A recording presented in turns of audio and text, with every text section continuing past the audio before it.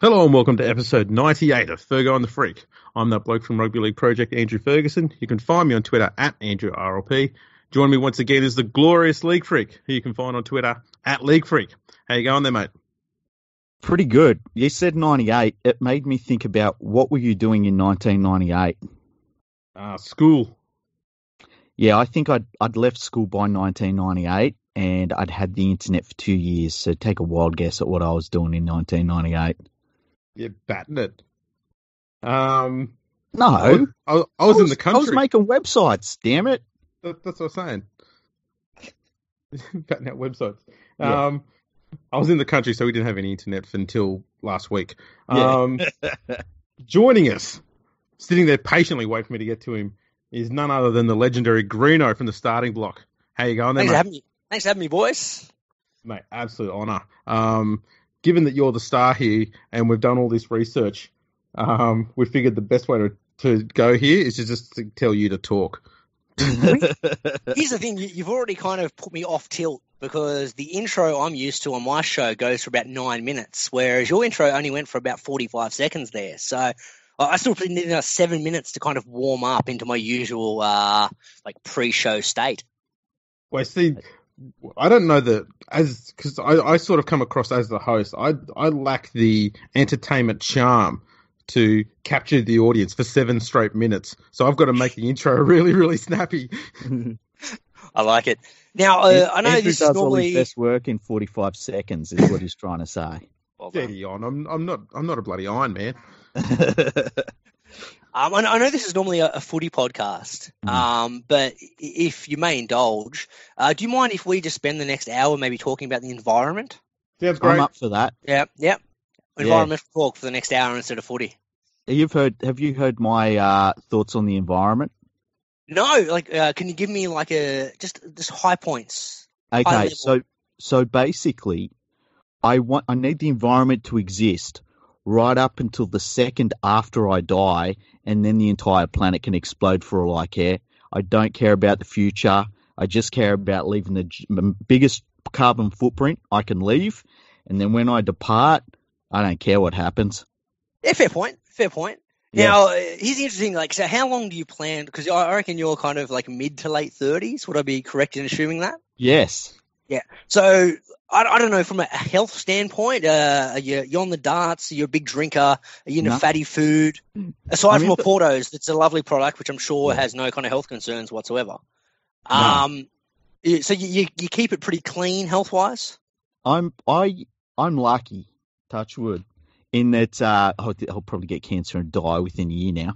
Um, I I'm I'm a healthy person for the most part, so I I don't really get hurt or s- really badly sick or anything like that.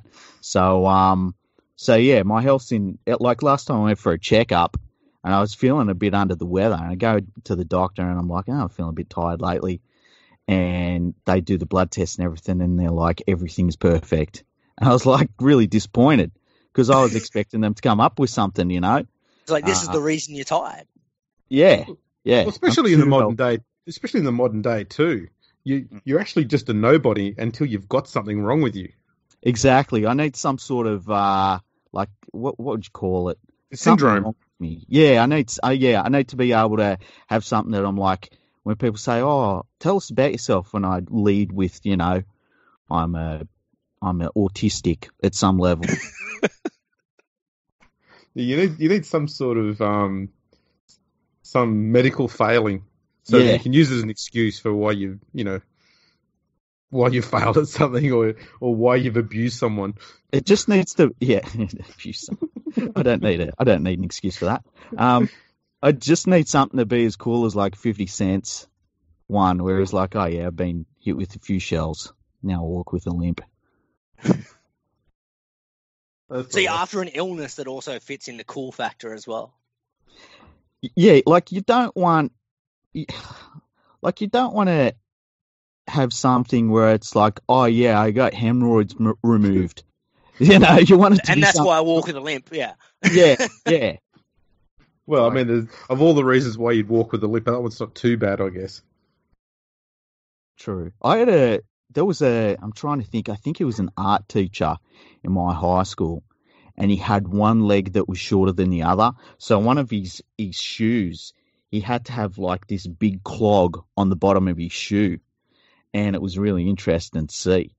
And you know, no one made fun of him for it though, which was good. We were pretty To, inclusive. to his face, I imagine. Oh yeah, to it, yeah. Yeah. Behind his Oh. back, different story. Monster behind his back. Yeah. So, So, what, do you, what do I was going to say, I was going to say, do you, I was going to say to Greeno, do you have any uh, any health concerns? I mean, other than the shared virus issue that we both seem to have as hosts. Yeah. Um, we could have a bit of a brag about that, I guess. How many times have you been sick this year, mate? Well, here's the thing. I I was chatting with Damo the other day about this because I was like, irrespective of how many illnesses I may have had over the course of this calendar year, I think I've only missed two shows because of illness, and neither of those illnesses were my own. So I had I missed a, a show when my my son decided to get conjunctivitis for um, I think it was the course of two and a half straight months, which meant he had to be quarantined, and I was the quarantine parent. So I couldn't leave the house until he was healthy. So I missed two shows because of that. Everything else, I might have had nine or ten different sicknesses, but I managed to get it back on track before Wednesday nights. So I think all in all, I think overall, let's call it 10, 11 total sicknesses, which I think, if I'm correct in what I've read, is well below your number of sicknesses over the course of this year. No, no, I'm. I think I've probably had ten, maybe eleven. The last one I had though was quite lengthy. Yeah. And because I just, it was one of those ones where it was like the end of season footy trip, Mm. and it's like a bit of Mad Monday thrown in all at once. Let's just try and give you the the grand poobah of illness. You can just have everything this week. So I was bedridden for like two or three days, and then Yep. dizzy and stuff, and I had everything. Don't know what it was. Um, yeah, I've, I've pretty much covered everything. It sounds like Oh. something I had a, a couple of months back, where similar thing. Like I, I've, I think my body goes through phases where I don't know if I get sick per se. I think it just shuts down due to exhaustion. Where it's like, hey, dickhead, you haven't had more than four hours sleep for about three straight weeks. You probably need to get some rest, and you're not going to do it yourself. So I'm going to force you to not physically be able to get out of bed for two days. And I had this yeah a couple of months back where um, I slept from like Sunday midday through till Monday 4 p.m. And you'd think that'd be enough energy to kind of get you back on track. And I got up, I brought the bins in from out the front, and I felt like I'd just run a marathon. And I'm like, well, something's not right here. I probably need to lay down. It was another three days before I was like functionally able to move normally. And I'm like, yeah, now I'm back on track. So that's how I kind of my body works when it when it comes to those things. It just points out, going, yeah, just just don't move for a week because you've run yourself down over the course of the last couple of months. That's a hell of a catch up. My, my body doesn't do that. My body just says, I'm just going to make you sick, but you're still not going to get any sleep. oh no, No, So- see, like the, so I've been looking into this because I've got a Fitbit about I don't know about three months ago now, Yeah. and I was overestimating how much sleep I was getting. So I'd be like, oh, I've got about seven hours sleep, and I'd have a look on this Fitbit and say I had four and a half hours sleep. And I've found that when you get a good night's sleep, like good seven hours, man, you're sweet the next day, and I can really feel it when I've got less than that. I oh can't no remember doubt. The, la- I can't remember the last time I had seven hours of Really, time with my eyes shut. Straight through sleep.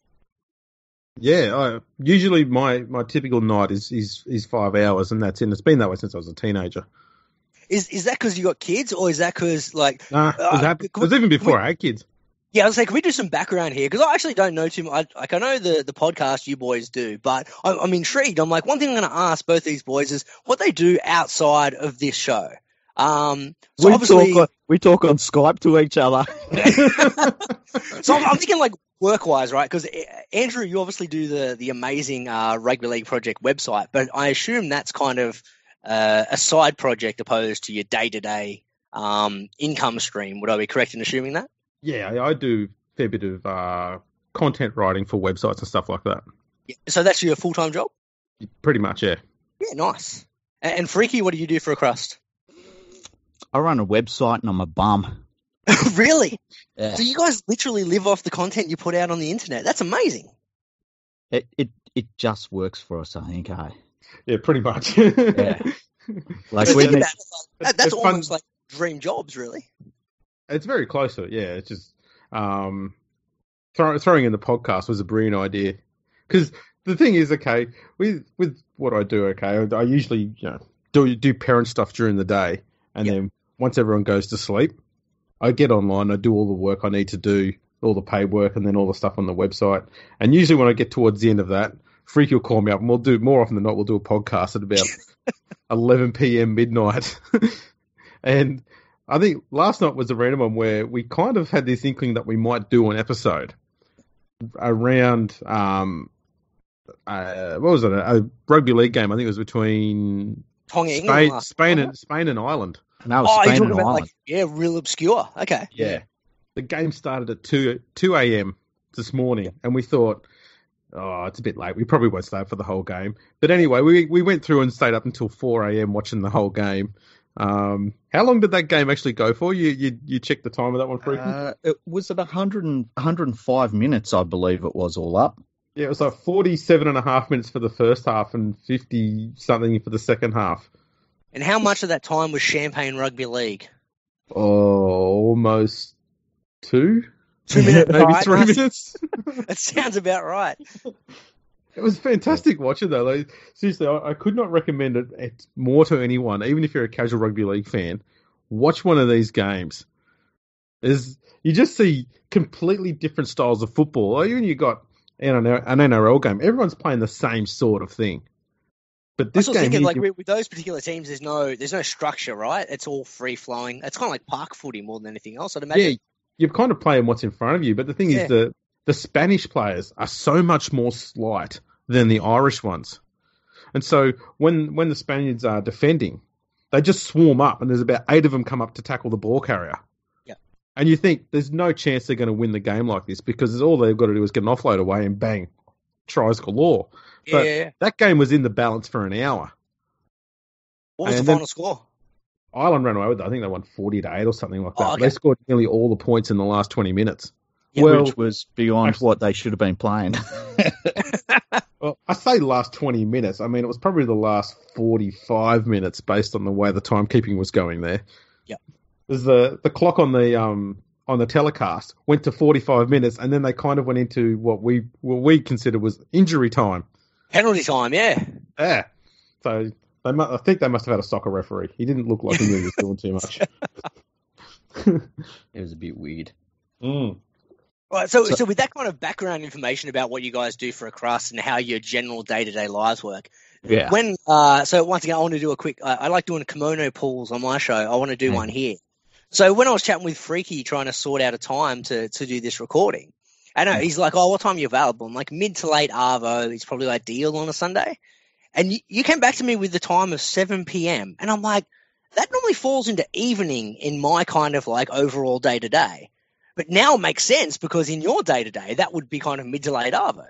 Yeah. Yeah. Pretty so, much. like, we like we will be there's days where we'll be like okay let's uh, record a podcast at 9.30 Yeah. and there's plenty of times where we will not start recording until about 11 really because we'll get on and we'll yap about rugby league Yeah. and we'll talk for a good hour or something and then we'll go like oh we're doing a podcast right now aren't we That, Yeah. that's But we're actually that's actually our off-air catchphrase because we will say it several times before recording anything. We're doing a podcast now. We did a great international one last night went for about two and a half hours and we didn't record any of it And you realize you weren't recording. Yeah. Yeah, it was fantastic. I mean, when we realised that we we'd actually just thrown away a good podcast, you know, because it's just two people chatting off air. There's you know Mm. some some rather unsavory comments get passed through. Hang, hang on. Ah. I I've listened to the podcast. There's plenty of unsavory comments that go on air. yeah Yeah, but, but we go we go to a new level yeah. yeah. We, it's a very trusting relationship here. We know that um, we know that we've said some things that wouldn't be accepted anywhere else. So Well, we can we, we kind of protect each other when we're, when we're just having a private conversation. So, so can we go back to the the origins of the Fergo and the Freak podcast? Then, like, how did this this show come about? Because obviously, I followed both your accounts for a number of years now. So when I saw both of you kind of joining uh, your your combined powers, Mm. I'm like, wow, this is going to be sensational. So, so how did this kind of come to fruition? It's really, really, it's a very long uh, story. Andrew posted that he should do a podcast, and I direct messaged him and said, "Do and do a podcast." And he was like, yeah. And so we did a podcast. Did a podcast. nice. Like I think we I we, I said, "Have you got Skype?" And he was like, "Yeah." And so we got on Skype and we talked. I think twice on Skype. I think the first time for about an hour, the second time for half an hour before Yep. we recorded the first episode. Um, and yeah, we just went from there. Nice. And it was literally how many days before? It was probably maybe was it even a week? Maybe a No, week. no. I think it was about four or five days before we record the first episode. Um, and we had this pretty clear cut idea, which we have completely abandoned after about a, about a few weeks.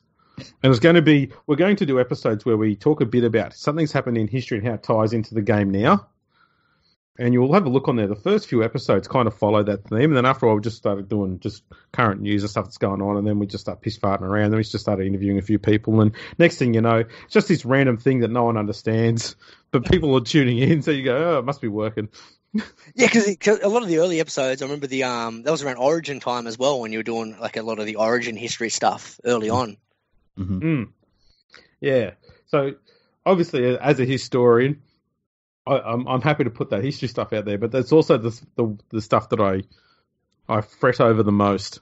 Like we had one that was out last week on the uh, 1909 season, and I I think I initially said I was going to have that ready in August. Okay.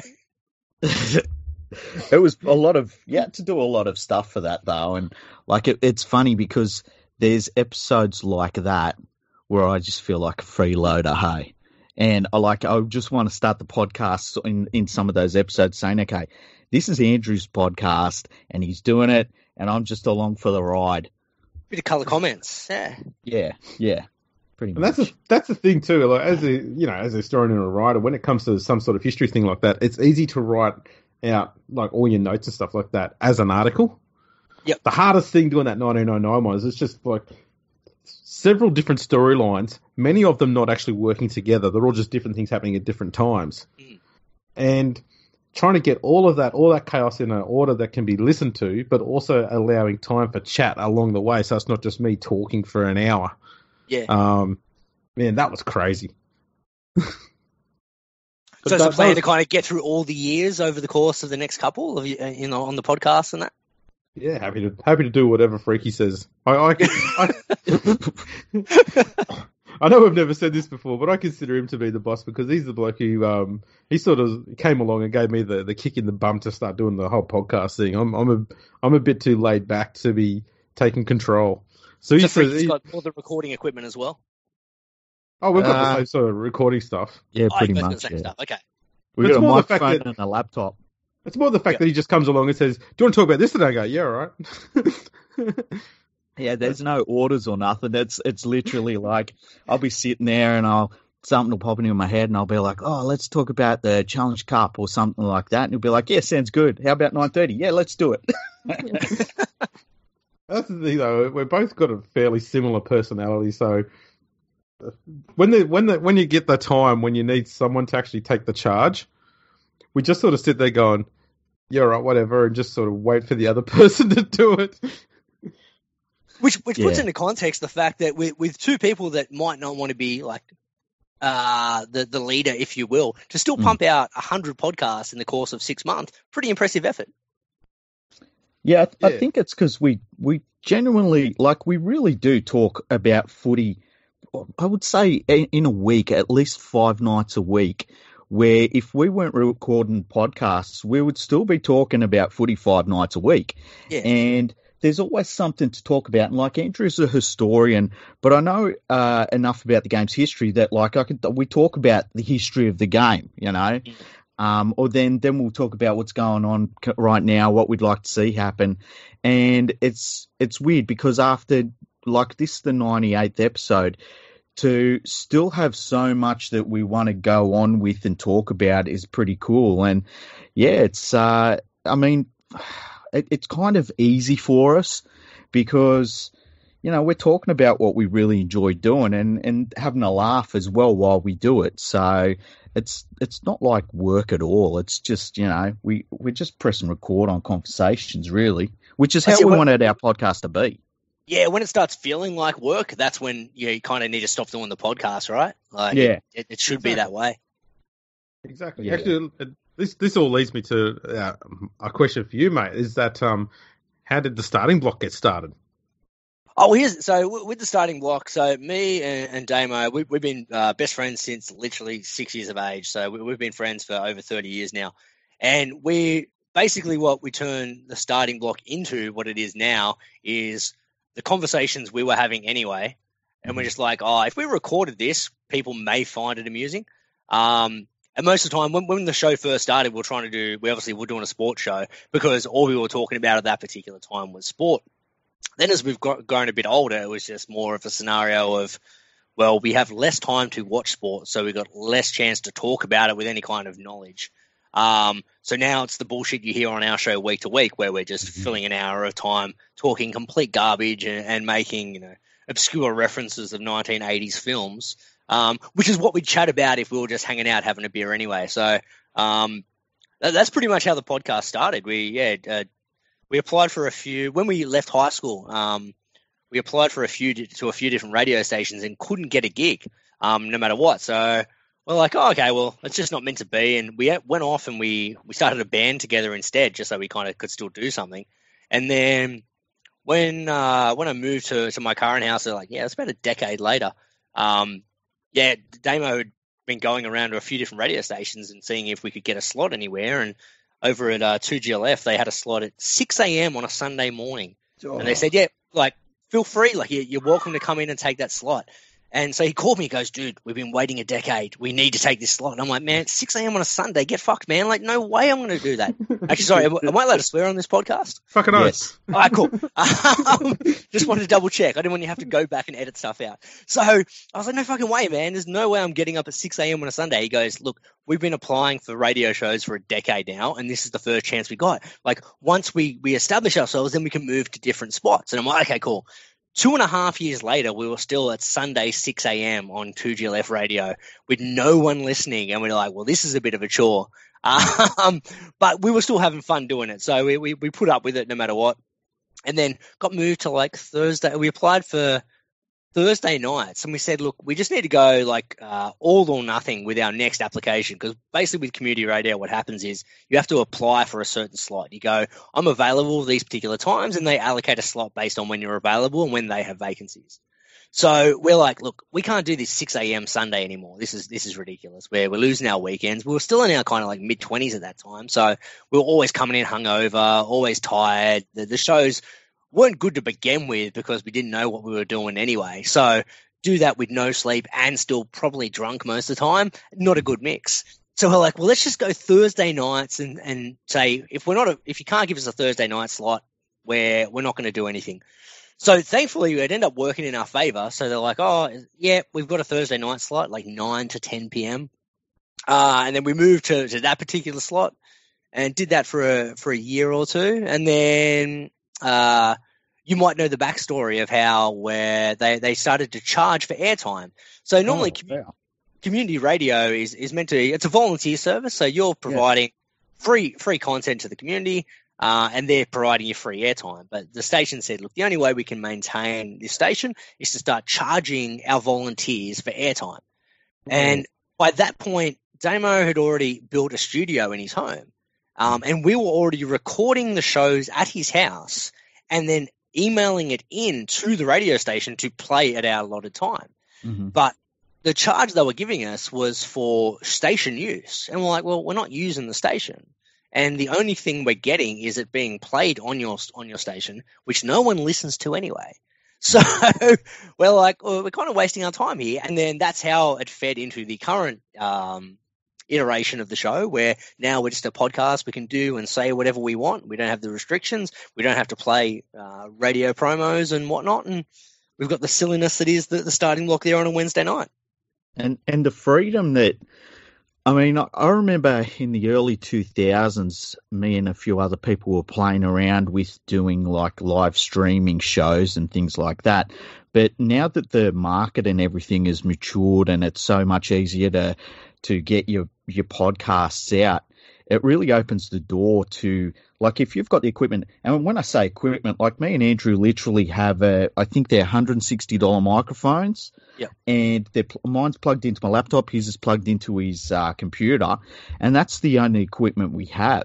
To now be able to produce something and send it across the entire world and you can do it from your own home. I mean it opens so many doors and it really takes away the need to need to go to radio stations and apply for things because you can build your own show up without any help from a, a, a network at all because it's your network. Hundred percent, yeah, and and it's it's built for your particular listener base. Like I don't know about you guys, but if, we've got half a dozen people, which is probably what our regular listener numbers are, um, I feel like a superstar. I'm like, there's six people that are out there in the world that have taken the, an hour out of their week to listen to something we're putting out into the interwebs. Like that's awesome. Like I'm, I I feel absolutely chuffed. So I don't know if you guys feel the same way. When yeah, no matter how many listeners you get, it's like I'm just putting out the content I want, and if people want to listen to it, it's a bonus, and I don't have to tailor what I'm putting out there um, in any way, shape, or form to try and appease, you know, a radio station or anything like that. I'm just going to do the show I want to do. If people listen, they listen, and it's a bonus. I'm one of those people that gets really surprised that anyone cares about anything I do. I'm not saying that in a, in a melodramatic way or being Yeah. miserable. It's just I'm, I'm just one of those people that has you know a, a fairly low sort of ego. So when Yeah. I see the, the the numbers for the episodes coming up, I'm sitting there going, "Wow, I can't believe this many people actually to listen to something I have to say." And I'm, I'm the same with with articles. When I see how many hits some of my articles get, and go, "I can't believe that many people have clicked on this." Yeah. Like seriously, I'm, and I think it beca- it's from a, I, I come from a such a tiny, remote sort of village where you, when you think about it, you you think in that village, you're you're everyone knows who you are. You feel somewhat important there, but when you think of the whole global scheme of things, you're an absolutely nobody in, in comparison. And so I think that's kind of the mentality I've got when I go everywhere else. So yeah, Yeah. I, I get pretty chuffed by seeing you know how many people listen to the episodes and stuff like that, and the feedback you get online and whatnot.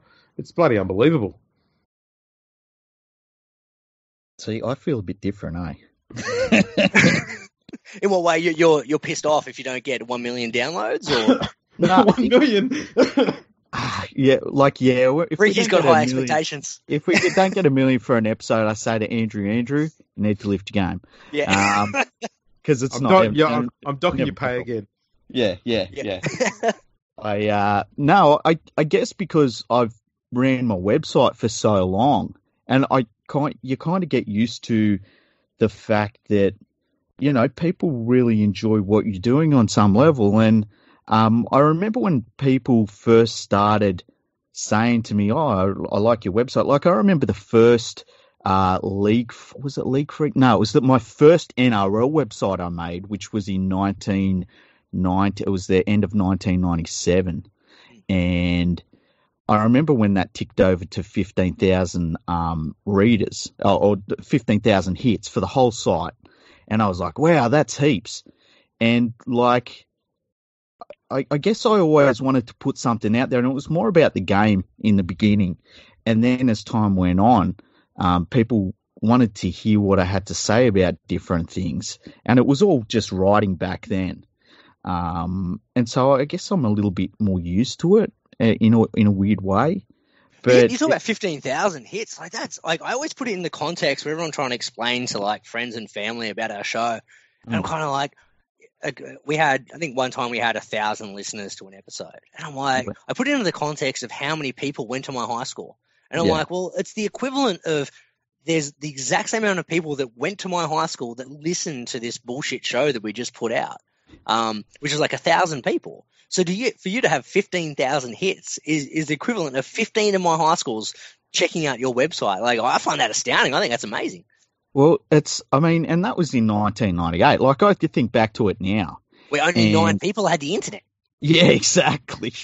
and that like that was before Google. I should have been Mm. making a search engine. That's Um, it. and a, and a data, you know, a massive you're data. you're ahead of your time company. there, Freaky. I really was. I've done so much with it. Um, Well, you, you, you live off in, off the internet, so you, you've done something with it. I, I still have Uh, yeah, to go, yeah, do my crust as an accountant, mate. Like, Uh, you, you- like I said, you guys are living the dream. And right now, I'm talking into a furry box.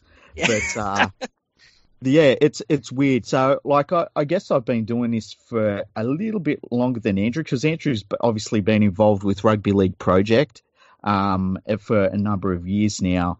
Um, but yeah, it's cool when when people enjoy stuff. Like I remember there was a while where I stepped back from a website and I was starting to get emails from people I didn't even know exist, and they'd be like, "Oh, what's happened? Well, I love reading your stuff. Why aren't you writing as much anymore?"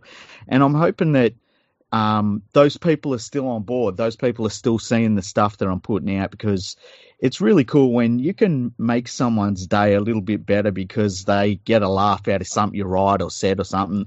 I mean, that's what it comes down to. You just want to make people happy. Yeah, for sure. Now we've got a few questions that have come in on Twitter because I, I told people, I told everyone, you know, just just a few minutes ago that you were doing the podcast with you right now, and I've asked for a few questions. That's good because we're going to get the show back on track because I realise we're 37 minutes in and I've turned this show into our own show where all I do is talk about your show. Well, that was that was the amazing become, thing. It's become inverted again.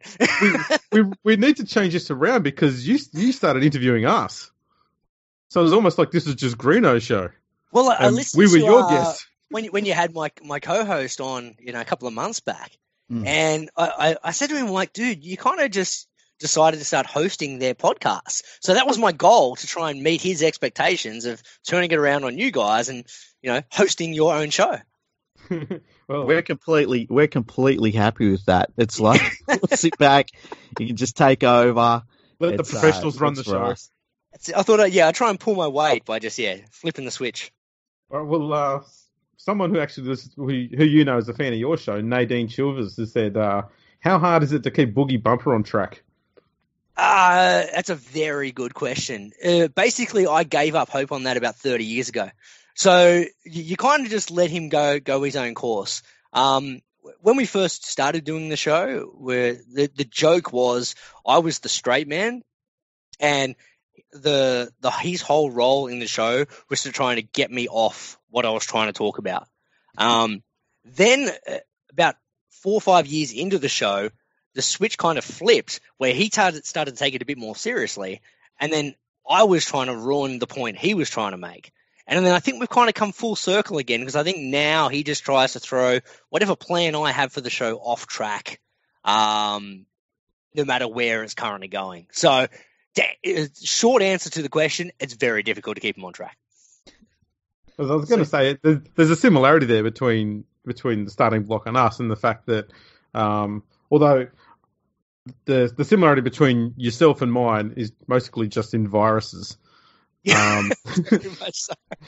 I I lack the charisma you have as a host, but I do have the same issue when it comes to your uh, co-host, who's got a lot more charisma, a lot more personality, trying to make sure you you keep him on on topic a bit. How dare you? So, what animals would you eat, Green? No. Yeah, cat No. eating is somehow snuck into the, the podcast over over the last few months. Well, I was. You know what? I watched Book of Eli yesterday. I don't know if you've seen that movie, Book of Eli. It's a good I one. haven't seen it. Does he eat a cat? it starts the opening scene right is that he's basically bunkered down he's uh he's camouflaged himself and there's a cat and he shoots the cat with the bow and arrow and then he eats the cat and of course straight away i'm all in i've seen that book of eli before but i'm all in on that sort of thing i mean everything's just meat So is it is this a cooking show or is it a movie or what is no it? it's a movie oh, it's a movie. it's a Oh. cooking show It's a good show.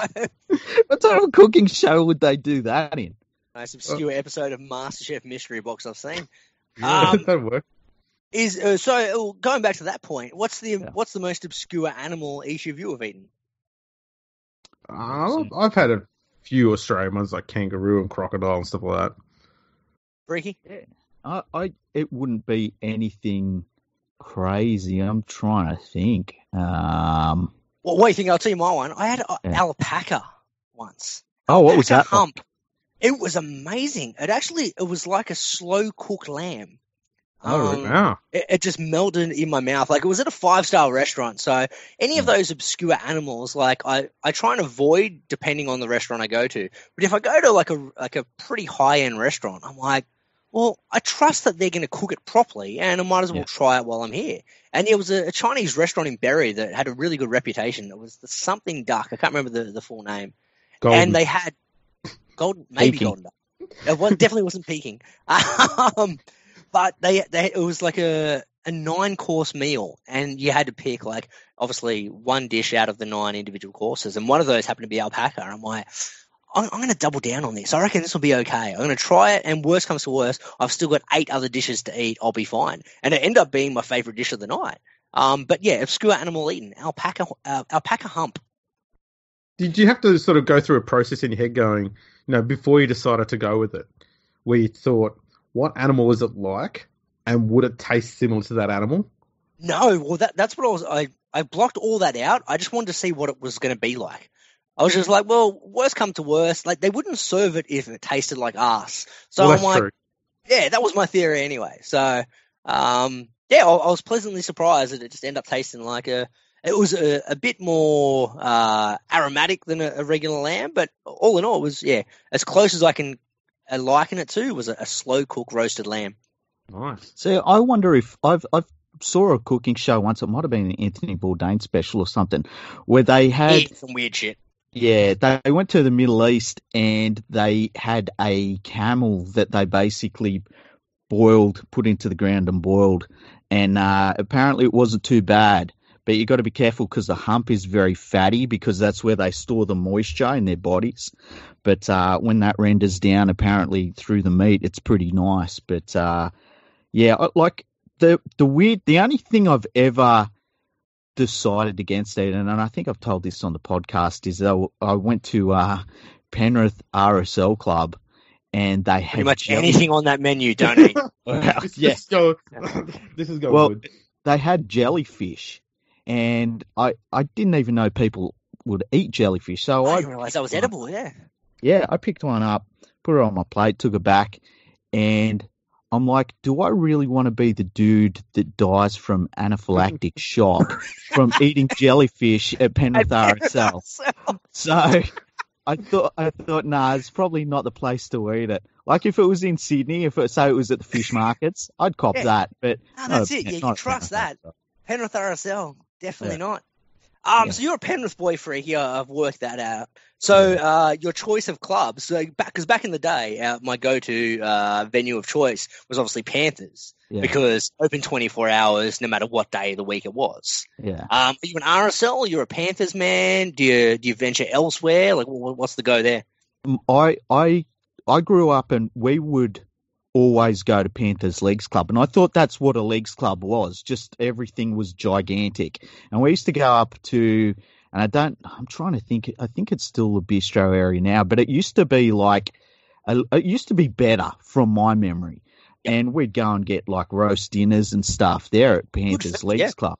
Um, I ended up going to Penrith RSL um, many years later because I basically I lived on the same street as it, so I would walk there, um, go and get a feed. Um, there was a while where I didn't have Foxtel at my place, so I would go walk there, get a feed, watch the footy get absolutely tanked, and then walk home. Dumble home. Um, yeah, so that was that was interesting. I always remember one of the weird stories. I, I always remember I would drive past on the on the street I used to live on. There was a brothel, right? And this it's not going where you used to think it's going. There was in this the brothel. in the back streets of Penrith. Yeah, yeah, pretty much. And but it was on the street I lived on. And there was this car that looked the exact same as my car that was always parked out front of the brothel. And I always used to think, like, if anybody knows my car and knows this street I live on, they would think that I'm at the brothel all the time because this car was identical to my car. Uh, it was funny. So how much did it cost you to buy that easily- second car? How dare you? was the brothel easily identifiable? Like always, like was there a red light out the front, or was Um, it kind of like subtle? I think it, w- I think it might have been one of those ones. You know, it's how it's just like a random doorway sticking out the side of a building. Okay, Yeah. So, and uh, like, I think the only reason I keyed in what it was is because when I would drive back from watching footy games and stuff late, um, this door would be lit up. You know, you know how they're all lit up, and it'd be like eleven thirty at night, and this random door's lit up outside of a building. I was like, Yeah, oh, fair that must be a brothel. Yeah, must be Yeah, it can't be anything else. that or a safe injecting room. We don't know. Either way, Yeah, one of the two. They, I don't know if they had an injecting room in Penrith. I know they had one in St Mary's. They near the did. So that's where. So I, I grew up at. Uh, I was a St Clair boy, and Yeah. uh, so when I go, because I work in the city, so I'd catch the train from St Yeah. Station, and have to get in pretty early, sort of thing. So you know, 5.30, 6 a.m. I'm at the train station, Mm. and they had they used to do uh, like meth days Monday, Wednesday, Friday, and you Yeah. could tell when it was meth day because you get to the station at 6 a.m. There was already a line around the door. Like And literally a- around the street at St Mary's because it was across the road from the station, and I'm and like, it's sketchy there. It's oh, it's very sketchy. sketchy.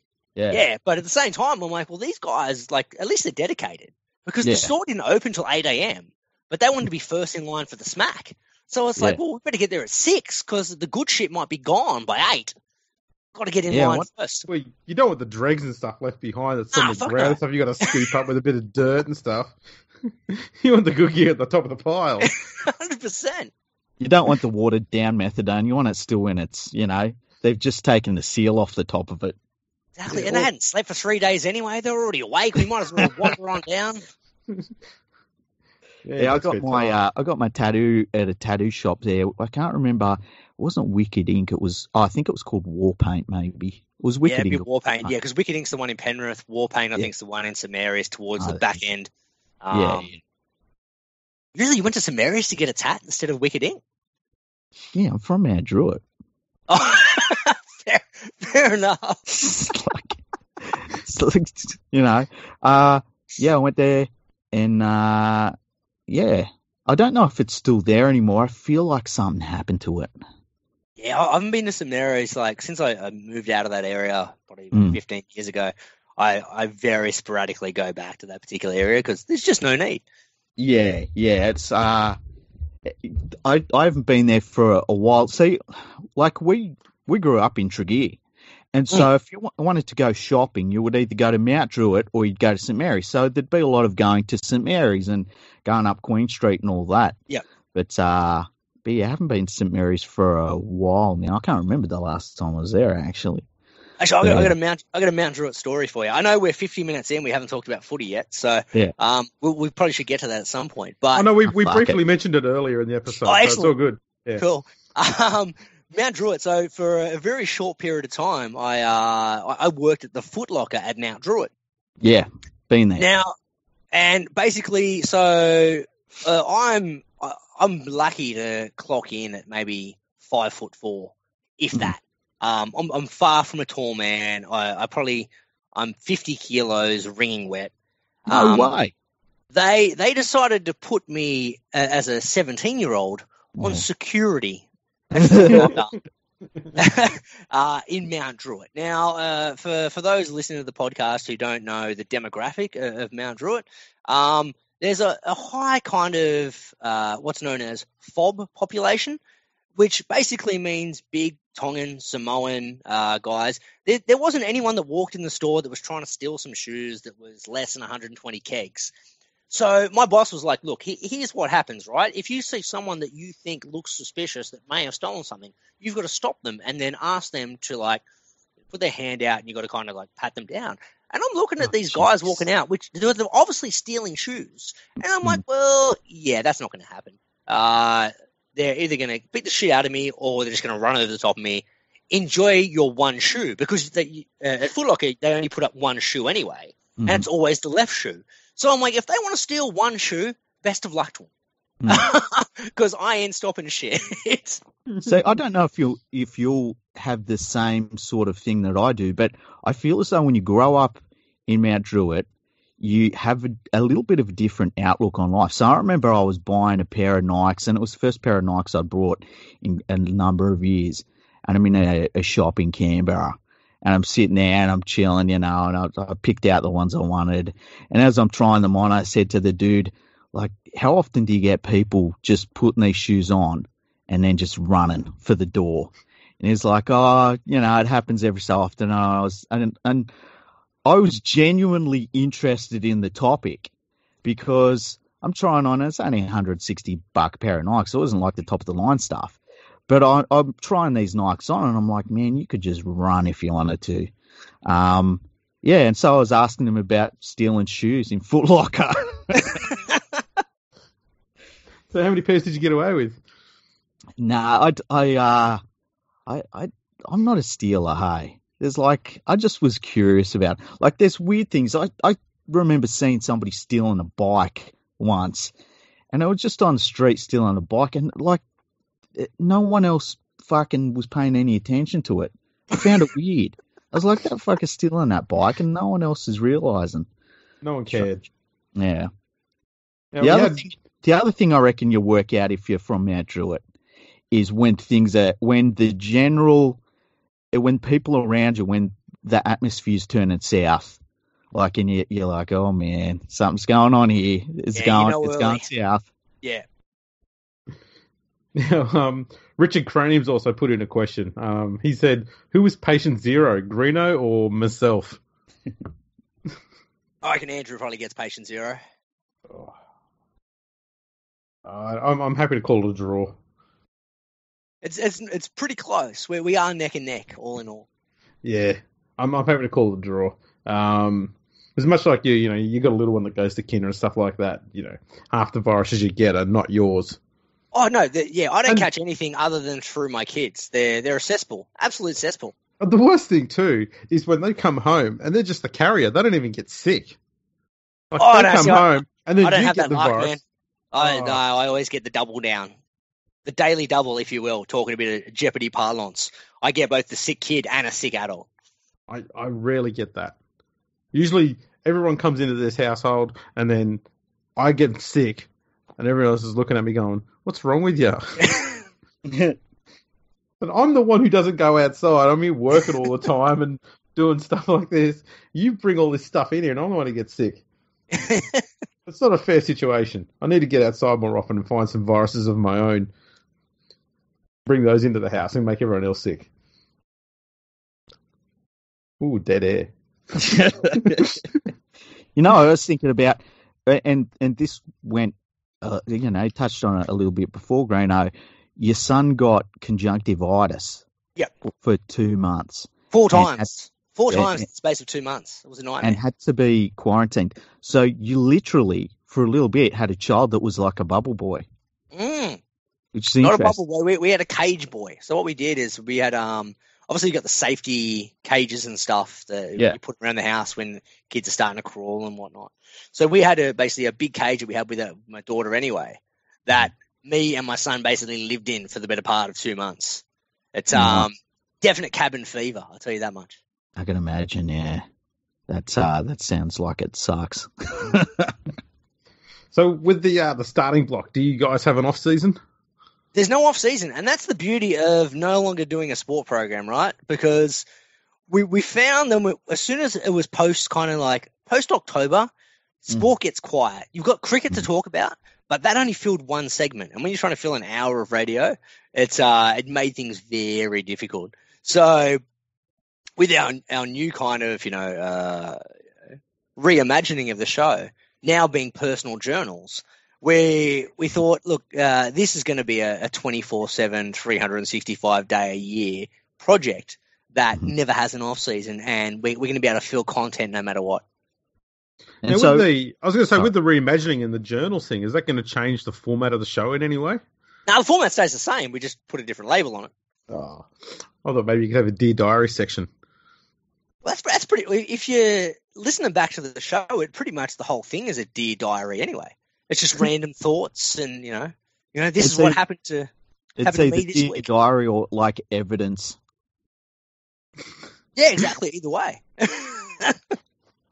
Uh, what is there a subject that when it comes up, when you're talking about it, that it's your favorite one? Like if there's a video of something, you're like, oh yeah, this is what I'm into. Ah, look, anything that's 80s, 90s movie, um, pop culture type references, that's that's our wheelhouse. So anything that falls into that, we're normally happy days. Um, but yeah, aside from that, It's it's just what pops up, really. Like we're just trying to waste an hour of people's time more than anything else. Because, like, you know that anytime there's something political, like Boogie is just like, oh yeah, this is what I'm into. Well, that's what we avoid. So he, he already does 19 other shows where Yeah. it's all political related. So I, I try and avoid any political content where I can, um, because otherwise it's just going to turn into his own show, and I'll be sitting there silent because I have no political leanings either way, shape, or form, and no interest in talking about politics. So Yeah. I'd rather just yeah, just fill in the the blanks of air with you know pointless drivel about you know Teen Wolf Two. Yeah, and for like for those that don't know, Boogie is a big Democrat. He's a big lefty, so send him all the lefty tweets you like. He loves them. Laps it up. Oh Yeah. yeah. Now, one thing you have been working on, especially in your last episode, um, was cameo. Cameo Did is I, I can't believe we weren't aware of it earlier. Likewise, and I, I stumbled onto it after listening to your, your podcast two weeks ago when you mentioned it, and um, on your last episode, you are you're asking your listeners to see if they would be able to gift you a cameo of someone. Have you had any come in yet? None yet, none yet. Well, it doesn't help that we've only got six listeners, so you know our our pool's pretty low to begin with. But look, eh, the the way I look at it is, yeah, we, we don't ask for for Patreon. Um, we don't charge for our episodes. Um, we, we never really ask for donations or anything like that.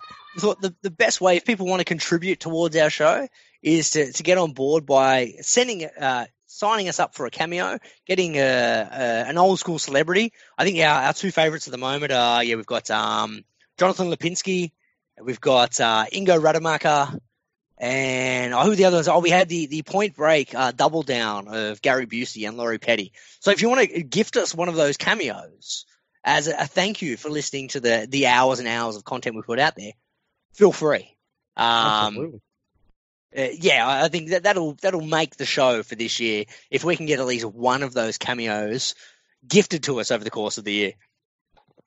Yeah, I think that would be that'd be a good idea. Like, I think, uh, what would you want someone like? What would you want Busey to say about the show, though? Like, well, that's the thing. we don't want nice things said. We, Yeah. we just want an honest assessment. Like I personally, I'd like to see Gary Busey coked up off the tits, listening to an episode, Mm. and then giving honest feedback as his cameo.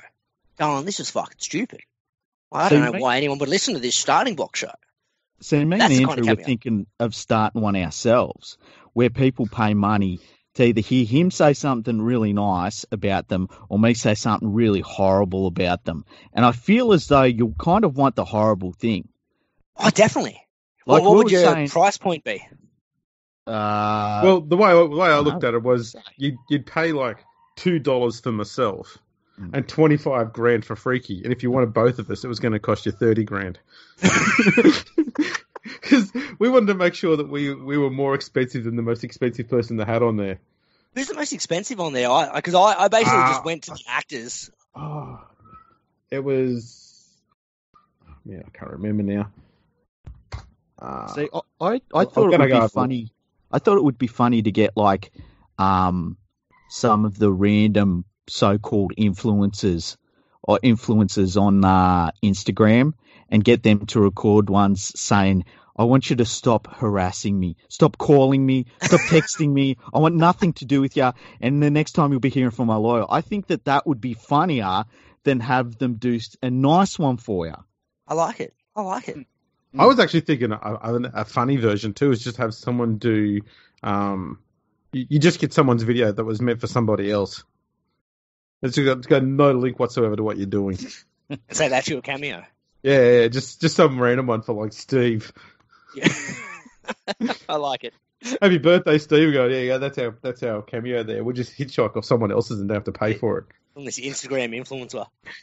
or you just pick someone like pick someone really random like uh oh, I don't know s- say um just Craig Wing right and you just go through all the cheap people and on on Cameo and you get them to do nice videos about Craig Wing so Craig Wing's like what the fuck is going on Why are these people sending me random videos? yeah yeah So that's like the thing too. When I looked at going on there and, and you know becoming, as they call it, talent. that that Jesus. term's used very loosely with some of the people that are already on there.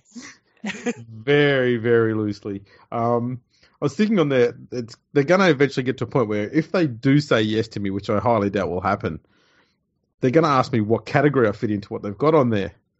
And I don't fit Definitely in any of them. influencer. So I'm going to Definitely influencer. there, go with YouTuber. Because the episodes get put up on YouTube. So I thought maybe I could say YouTuber. We get like, you know, one or two thumbs up on every video, and most of those are just mine anyway. Sounds like a winner to me. And then I could put in there for I don't know, maybe what do you, what do you reckon? Five bucks. I don't I don't want to sell myself short, but also don't want to price myself out of the market. And I know that I'm not really in the market.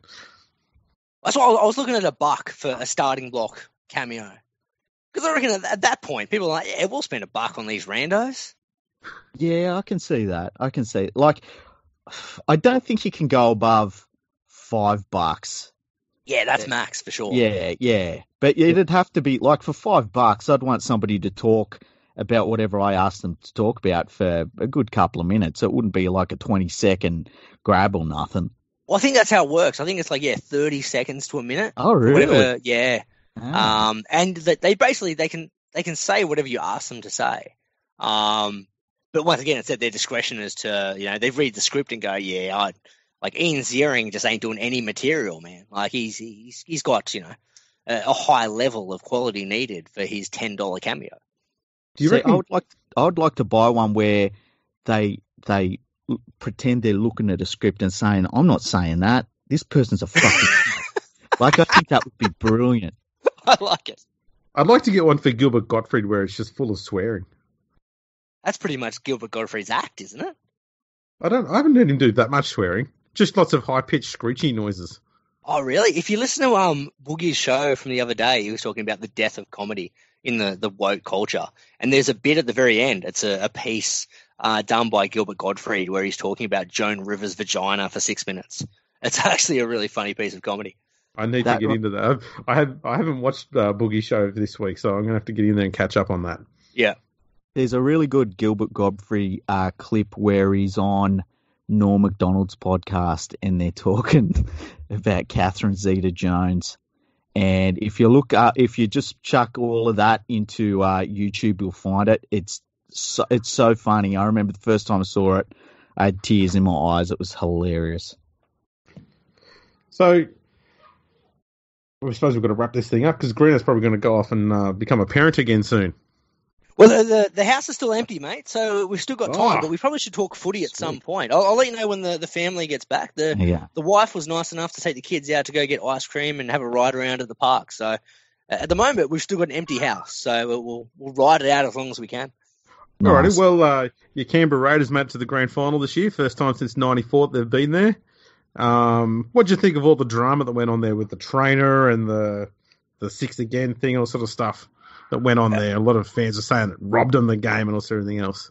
Nah, it's bullshit, man. So basically, like I'm as as a fan, I'm pretty objective, and I try and call it as I see it, and not have you know Raiders coloured uh, glasses on with, with those particular things. The trainer being on the field, I think, definitely robbed the Raiders of a try. Um, it, like I, like I said, obviously I was at the game, so watching it live, I, I saw the ball go back, and I saw the Raiders player having the obviously distinct advantage of being sprinting out of the line, and the Roosters players going in the opposite direction. So I'm like, well, we definitely would have recovered the ball and scored a try had the trainer not been there. So that definitely cost the Raiders six points there.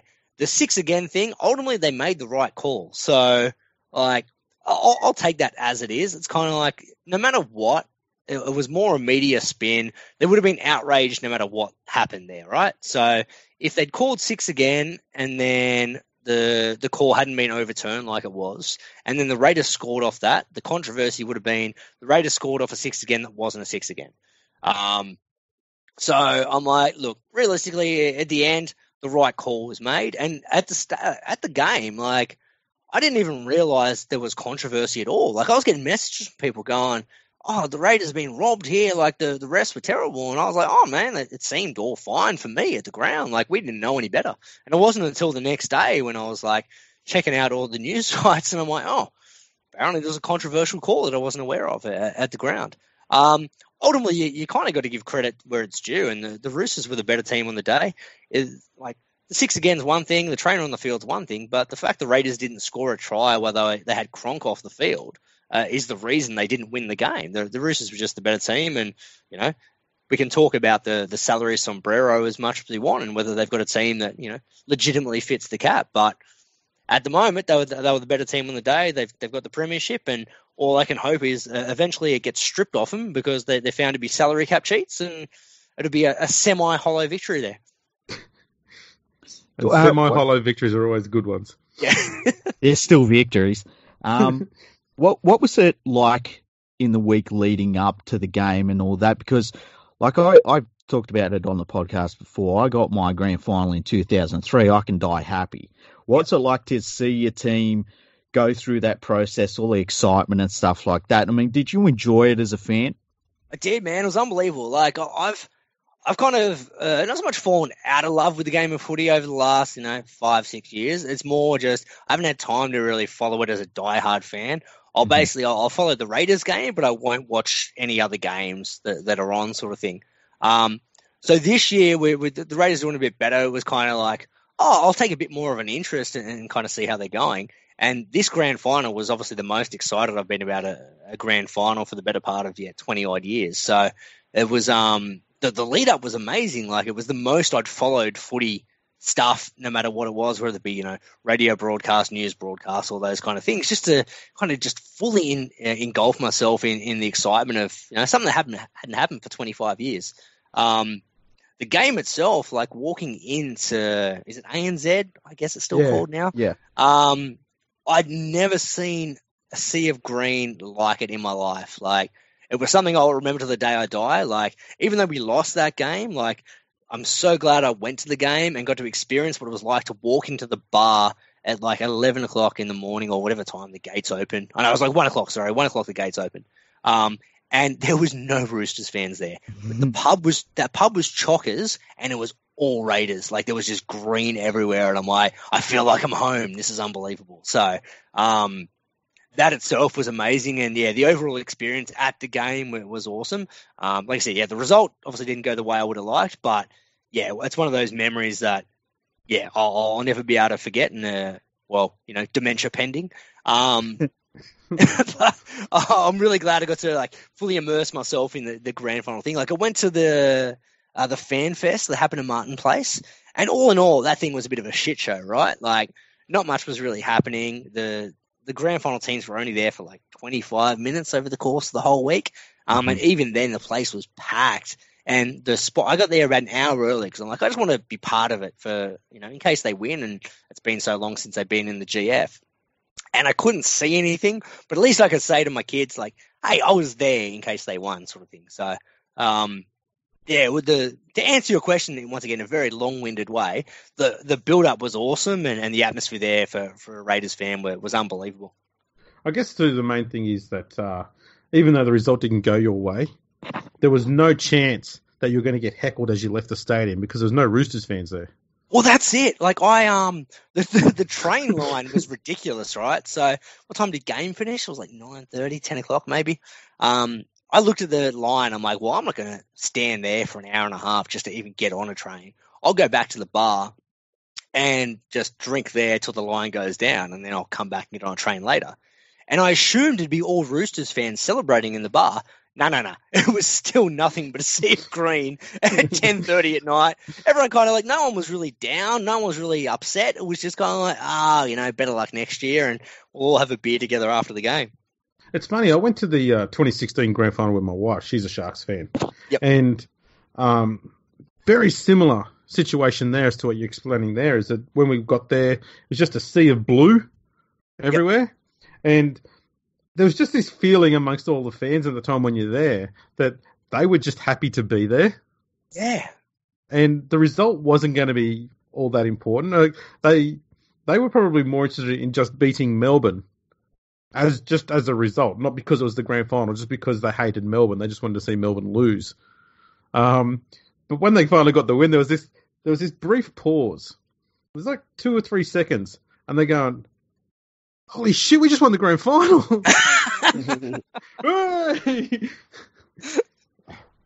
uh, what got what got you what got you following the Raiders? I mean, you grew up in Western Sydney, and all of a sudden you're a Raiders fan. What happened there? Um, I think it just comes down. So as a kid, uh, as like a five, six year old, my favorite player was Ricky Stuart. So at that point, you just kind of follow the team, whoever your favorite player is. And that's just a team I've stuck with for the rest of my life, obviously. So, you know, you don't you know, jump off the team, I guess, just because they've sucked for 20 odd years. It's just, yeah, that was the team I, I picked as a kid because my favorite player happened to play for him. Did you cop any crap from Panthers fans at school? Ah, uh, to, to be honest, there weren't many Panthers fans at school. See, I always think that Panthers fans, they're easygoing. Like they're not the sort of people that run around giving other people shit too much.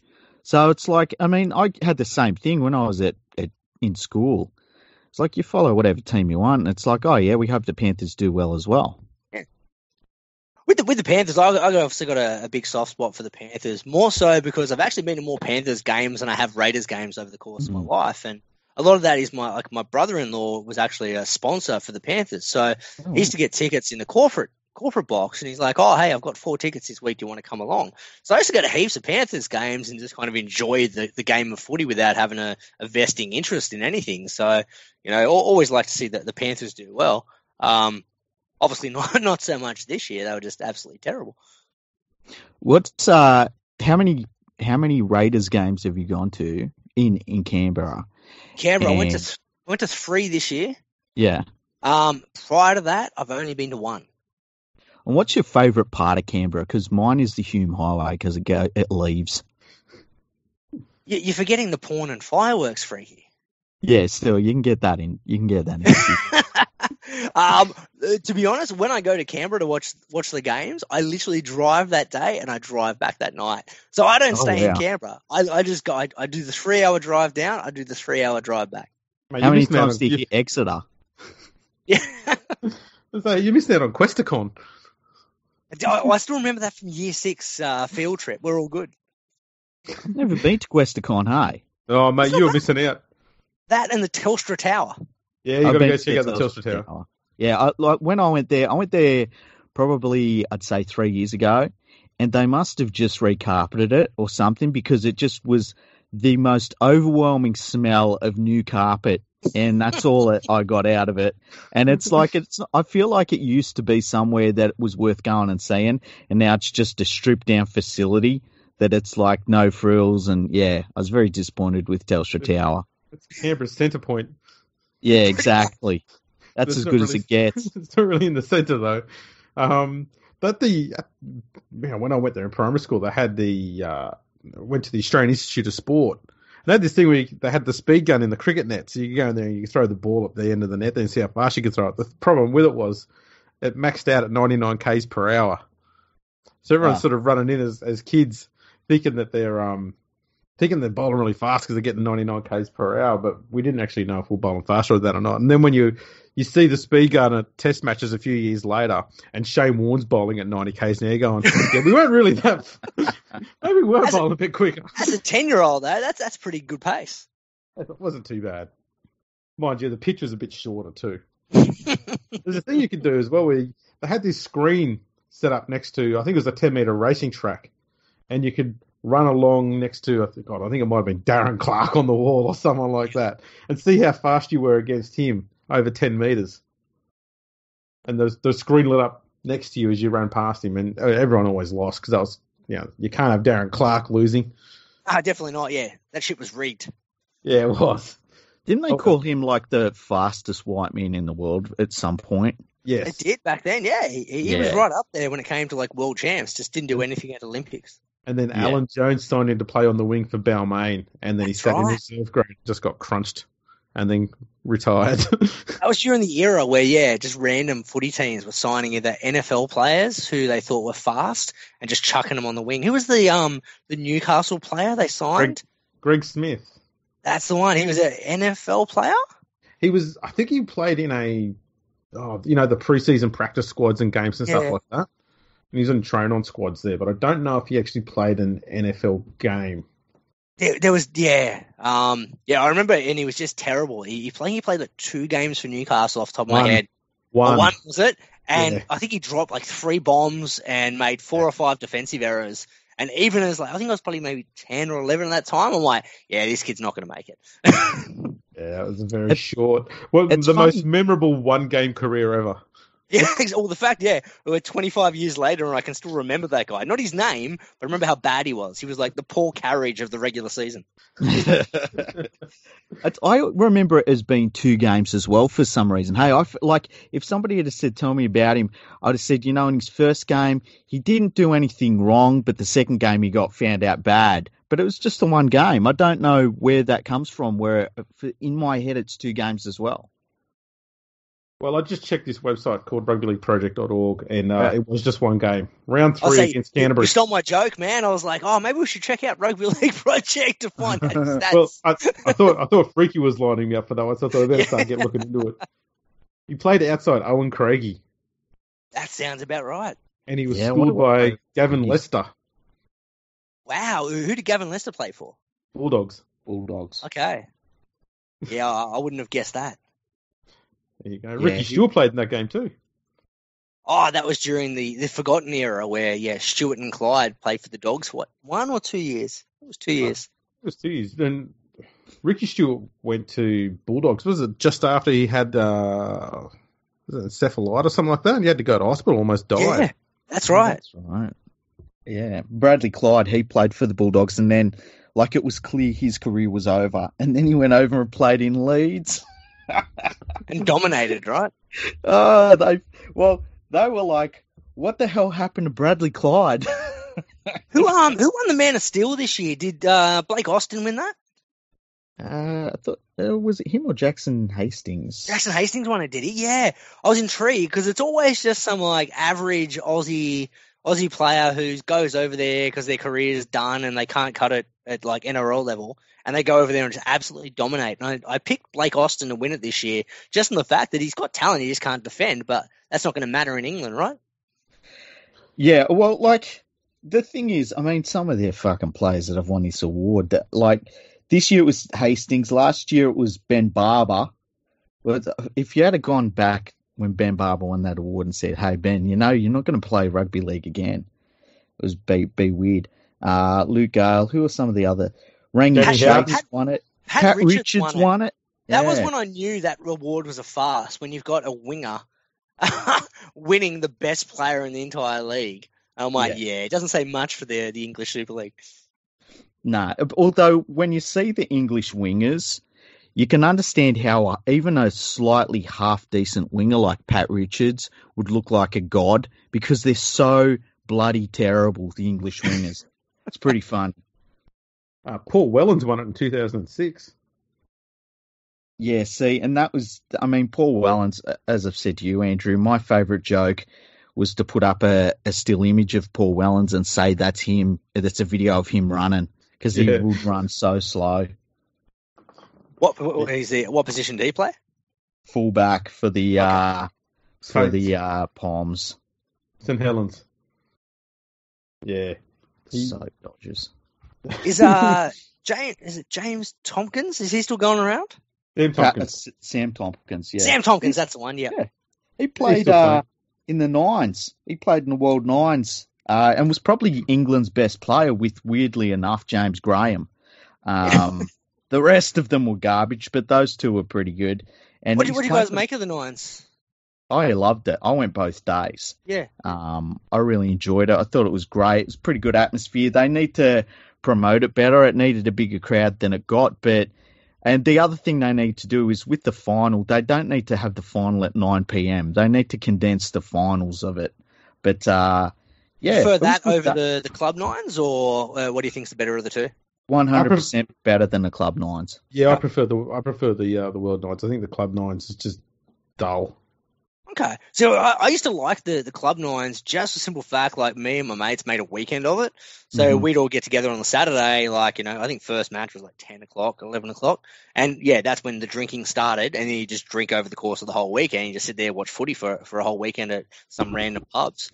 Um, Yeah, look, for Mate, me, it's. mate.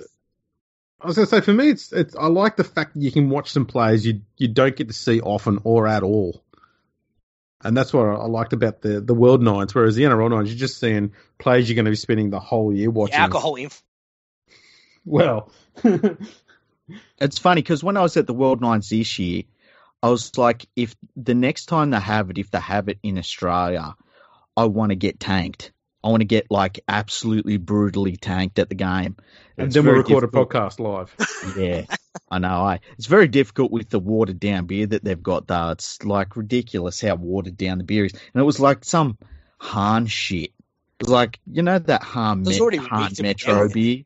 beer. Yeah. Yeah, it's ridiculous. That was one of my gripes with the grand final, right? So Yeah. the the bar beforehand, so the bar before you go into the stadium was Yeah. charging like eleven dollars a schooner for mid strength beer. Um, so I had two there, and I'm already 22 in the hole. But then I bought rounds for like my dad and my brother-in-law who came to the game with me. So Mm. there, I'm already yeah 66 down before I've walked into the stadium. But then Mm. I was- I was surprised because inside the stadium, the beers, albeit still mid strength, were eight bucks. So I'm like, well, what's the three dollar markup on the exact same beer outside and inside the stadium? That's ridiculous. Yeah, insane. I think you've got to go if you want to get drunk at the footy. I think you've got to just before you get there, just hammer spirits, so that by the by the time you get to the mid strength watered down beer, you don't even care. Hmm. Like it's just basically water. So yeah, that's I That was think the- that that's it was a I high wire act I was treading for the grand final because I wanted to drink and I wanted to be like pretty hammered by the end of the night, but I hmm. also wanted to be sober enough to enjoy the game. Yeah. It was a very tight balance act that one. Yeah, see, I've had that problems with because a number of years I used to do big reviews of state of origin games um, after the game, but then it got to years where I was getting absolutely tanked during state of origin games, and I'd, the next day I'd sit down and be like, right, what happened? And I couldn't remember anything. No Uh, idea, yeah. Yeah, there were like there was there was even a grand final, and I can't remember what grand final was because I was tanked. yeah. Um, and like people going on about the halftime entertainment and stuff, and I couldn't remember any of it. And there was like one where I couldn't remember the second half whatsoever. Yeah. CTE. Possibly, yeah, I'll put it down to CTE rather than being completely annihilated. Could have been trying to sit down on one of those weird seats with the flippy up thing, and forgot Mm. to do the flippy down thing. Yeah. And you just fell down and banged your head on the back of the straight up the point. I almost Yeah. lost my mobile phone doing that at Parramatta Stadium um, during the nines. I'd put my phone down between my legs because, as you do, you know, I'm hoping I'm getting texts all day. And uh, yeah, but the, the, I got up to let someone go past, and the seat flips back and it slips my mobile phone onto the thing behind me. So I thought I'd lost my phone. And luckily, I found it. What's um uh, question for you boys? What, what's your Yeah. preferred method of watching the footy? I'm going to give you four options, right? Naked. Um, What? naked, naked, cock in hand. Yeah. Um, at home, fully clothed, watching with a couple of beers. At the game solo. At the game with mates, or at the game with your significant others. Hmm. I oh, it depends. It's different for different sorts of footy. So I like watching the grand finals and state of origins at home with beer. Okay. Uh, I enjoy watching games at the new Parramatta Stadium because I think the the view you get from there is better than you get on TV. Quite honestly. Oh wow. Okay. I'm keen to get out there next year. I've, I've just been waiting. The the Raiders played the Eels this year in a para home game that happened to be at fucking Darwin. So I'm like, well, I guess I'm not going to Bankwest. Yeah, it's it's so worth. Like I, the view is so good at Parramatta Stadium. I would consider getting Eels season tickets just to go Wow, and see good footy that that Nice. close up. Yeah. Um, but then you know I watch so many games uh at home. Like I'm I'm the sort of person that doesn't attend to well normally doesn't attend too many games. I've been to a lot this year. But yeah, so for the most part, I, I like watching with a a beer at home. I guess. Yeah, I'm a uh, at at home You know, you're not a watch watching type thing because let's be honest, I I live in Melbourne. I, I don't want to go and sit with Melbourne Storm fans and watch a game of football with them. fair point. What do Okay. Hey, we've got the appearance for your daughter, man. I was waiting for it. Yeah, it's there. She's just telling me that some TV show's on. I like it. They've still got TV. I like it. Yeah.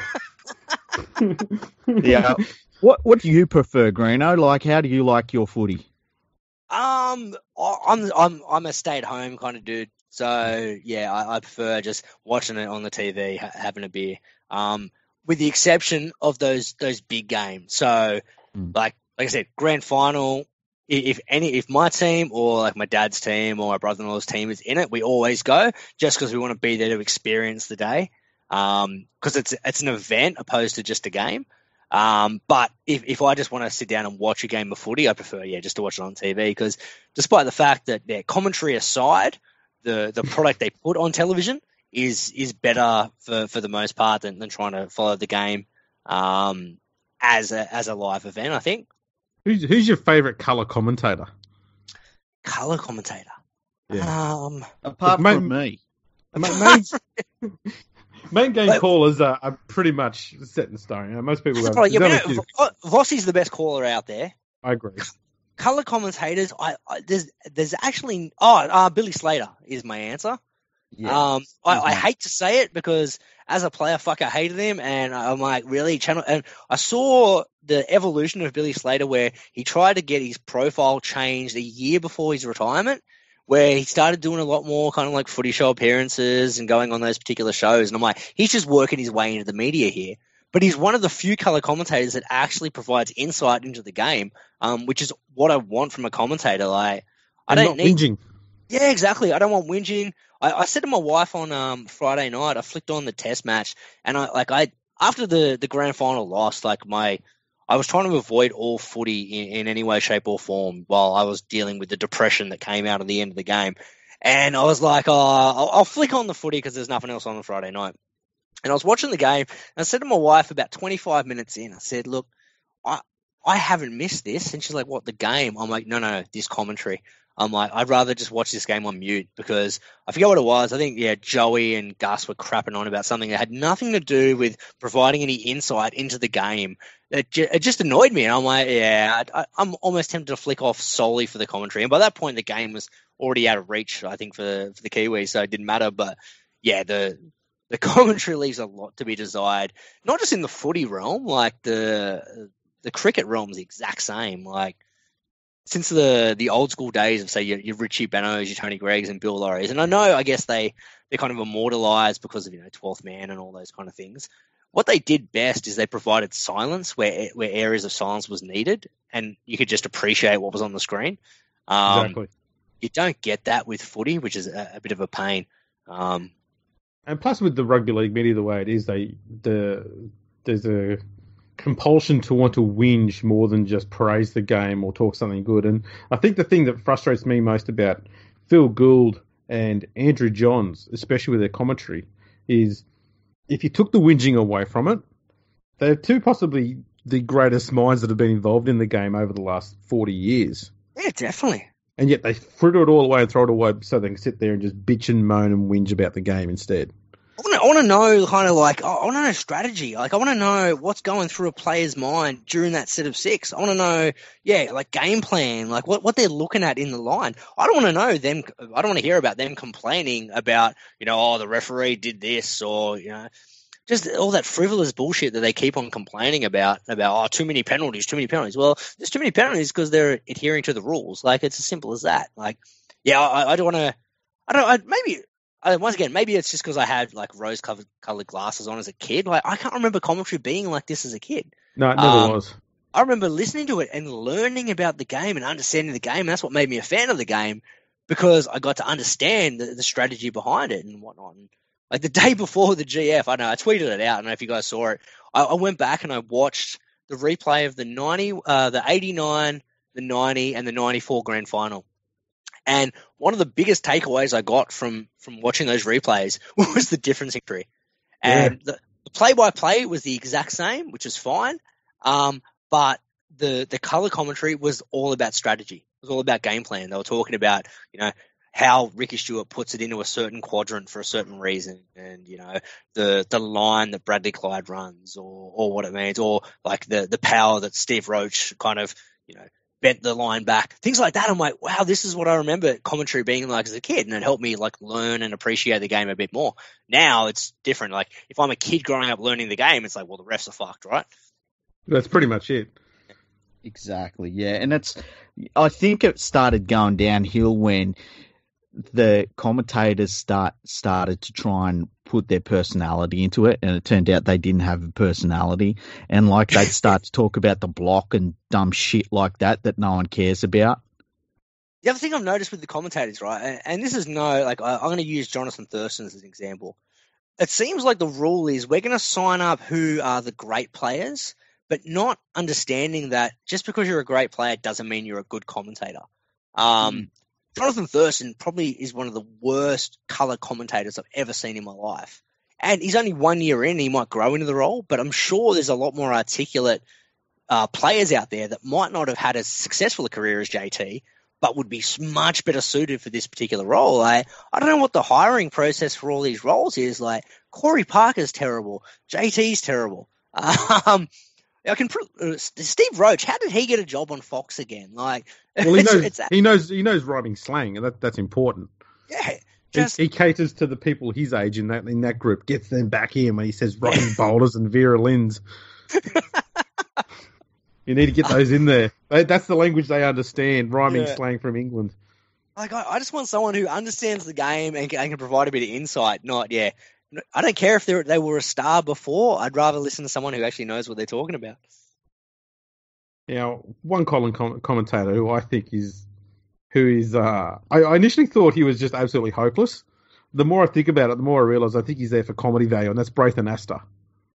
See, I I remember listening to Braith Anasta when he first, he was still playing with the Roosters at the time, and he he was a, a color commentator of a, an under twenties match on Foxtel that I was listening to. I think the Raiders were playing in the game, and he was he was really good. He was actually really insightful. And then I think he went back, obviously went back to playing and, and, and, didn't hear from him for a little while. So now I see all these kind of like bashings of Braith Anasta in the com box. And I'm like, wow, I remember listening to him maybe eight, nine years ago and he was really good. Like, has he changed his mentality? Does he just give well, no insight whatsoever? I think he got a bit cranky one day when he was at West Tigers and he found out that he had to buy his own power Powerade.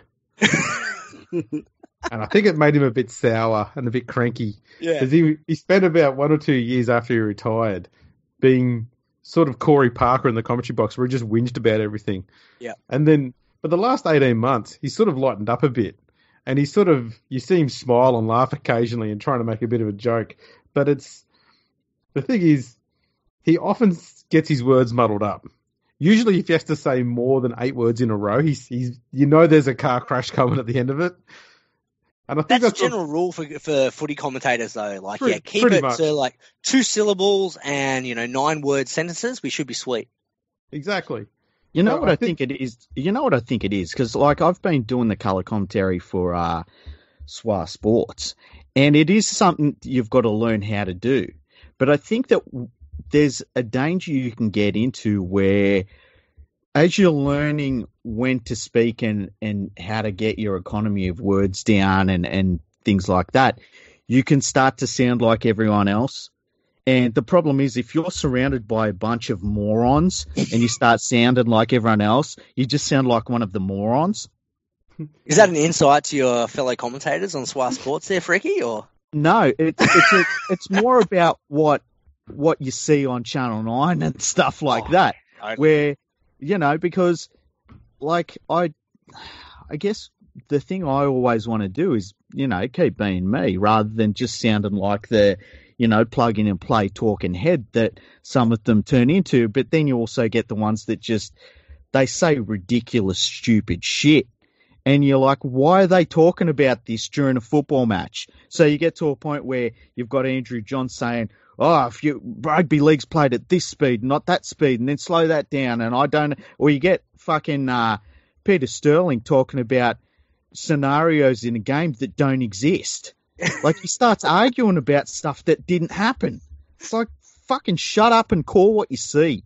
That's it. Just yeah, keep your mouth shut, right? Yeah. yeah. So that's what I think it is, and and I, I like Braith Anasta because I think it's all satire. I think he knows what he's doing. I think so too. I actually, I'm a like. I didn't like Braith as a, a player, but I, I, grew to like him like outside of the field. I think he's, I think he's actually really, really talented. Like obviously he's got the golf skill in the background. Long John Braithy, as we used to refer to him on our show. Um, it, yeah, he, he's he's actually got some skill when it comes to the off field stuff. But um, yeah, seems to cop a pretty bad rap when it comes to his commentary. So, who's your favourite player? Current? Yeah. Ah, good question. Time. All time. So all time, it's got it's got to be Sticky. Yeah. Um, Sticky was yeah, the guy that made me a fan of footy as a as a four or five year old. So um, mm-hmm. he's my all time favourite player. Um, followed very closely by Shaun Fensom at number two. Oh wow! I just like the way the guy plays, man. Like you want to see a player that plays with heart. Um, when he came through, because he, he, was under twenties, yeah, under twenties captain when the Raiders won the the under twenties cup in I forget what year it was. Um, and yeah, he was he was kind of the player. I just yeah, I like the way he played. Current players, that's a good question. I probably don't have a, a favorite current player. Um, just trying to think. I'm going through through the Raiders squad. I like what Shans did this year, but I wouldn't say he's my favorite player. Oh, Jordan Rapana. If I'm going to go a guy on, on, the Raiders, I just there's, there's, a guy. That's a guy who just doesn't give anything other than 100. Um, percent and came back from a fractured skull. Like you, you're talking yeah. about someone who's got some character and like some some like will to want to play footy. Like he fractured his skull. He's like, yeah, I'll be back in six. yeah, it's impressive. When, when when you're playing footy and they say to replace the divot and it's in your head, yeah. that's pretty impressive. Hundred percent. So yeah, probably Jordan Rapana is my, my current favorite player um, on the Raiders squad. As an overall enjoyment factor of players I enjoy, it's it's hard to go past the beach sprinter, is it? He's uh I don't, there are no Cook. beach sprinters in rugby league. Who's, who's the beach sprinter? Yeah. You're telling me there's a beach sprinter in rugby league? I, I thought of you. I thought of you guys on Friday night because literally as soon as Damien Cook made that break, they yeah. Rabs mentioned that there was a beach. He used to be a former beach sprinter. I'm like, I have to tell the boys about that on Sunday. There's some weird things. There's some players that they have things that just are always attached to them. I always the thing with uh, Carl Webb. Oh, golden gloves, golden gloves. Carl Webb, golden gloves. And then he gets into a boxing ring when his career's finished and just cannot fight at all. Speaking of yeah. boxing, uh, is it just me, or are you guys also hoping that Gal gets his ass kicked by Barry Hall? No, you know no. what? The, the, no. The AFL media have been going absolutely nuts over Barry Hall and how he's going to okay. own Paul Gallen. Yep. And living down in here in Melbourne, it's all Barry Hall. So I oh, see. I haven't heard any of that. I've just seen random clips of Barry Hall training.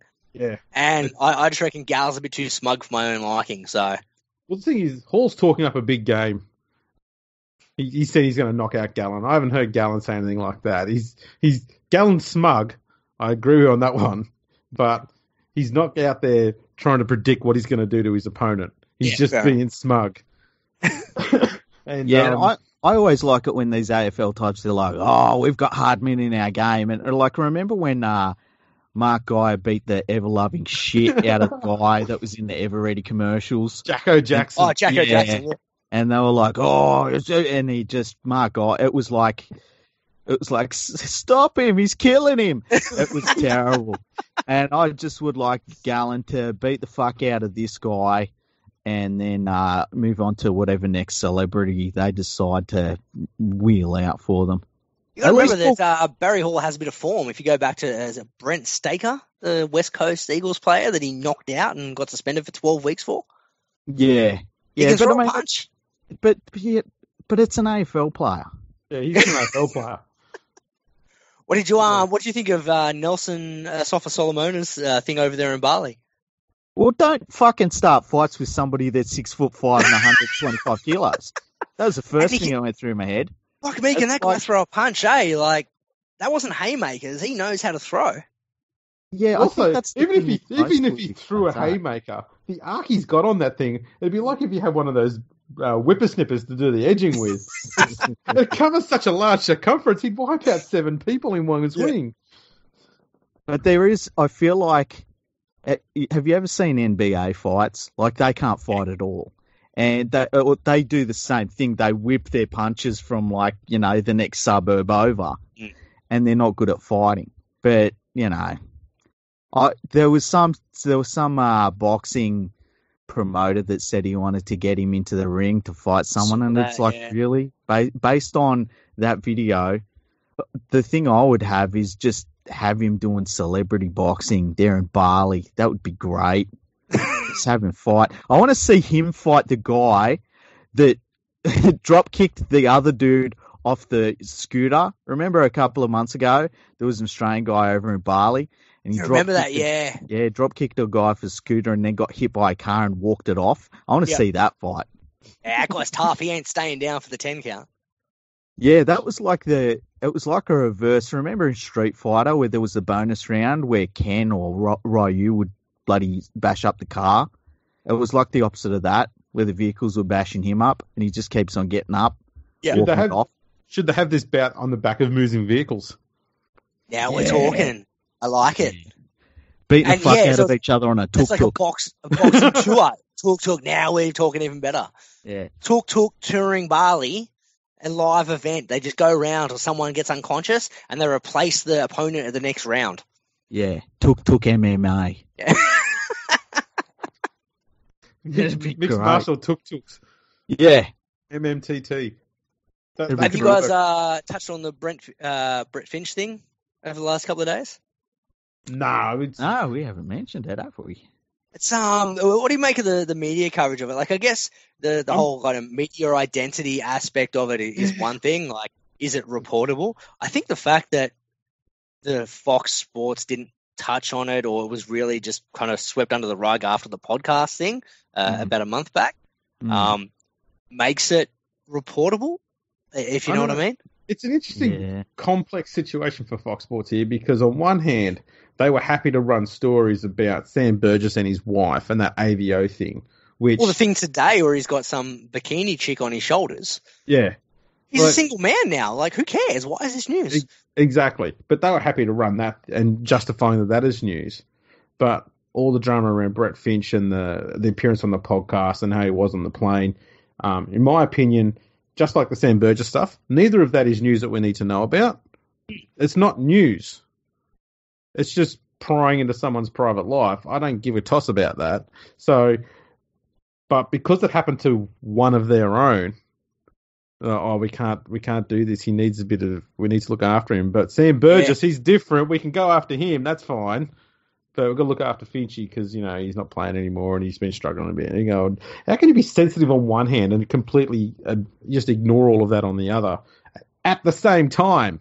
Yeah, well, I- guess the same kind of point goes to like I've, followed the coverage. Well, like I said, I refuse to click on a lot of these articles because I don't want to get involved in clickbait.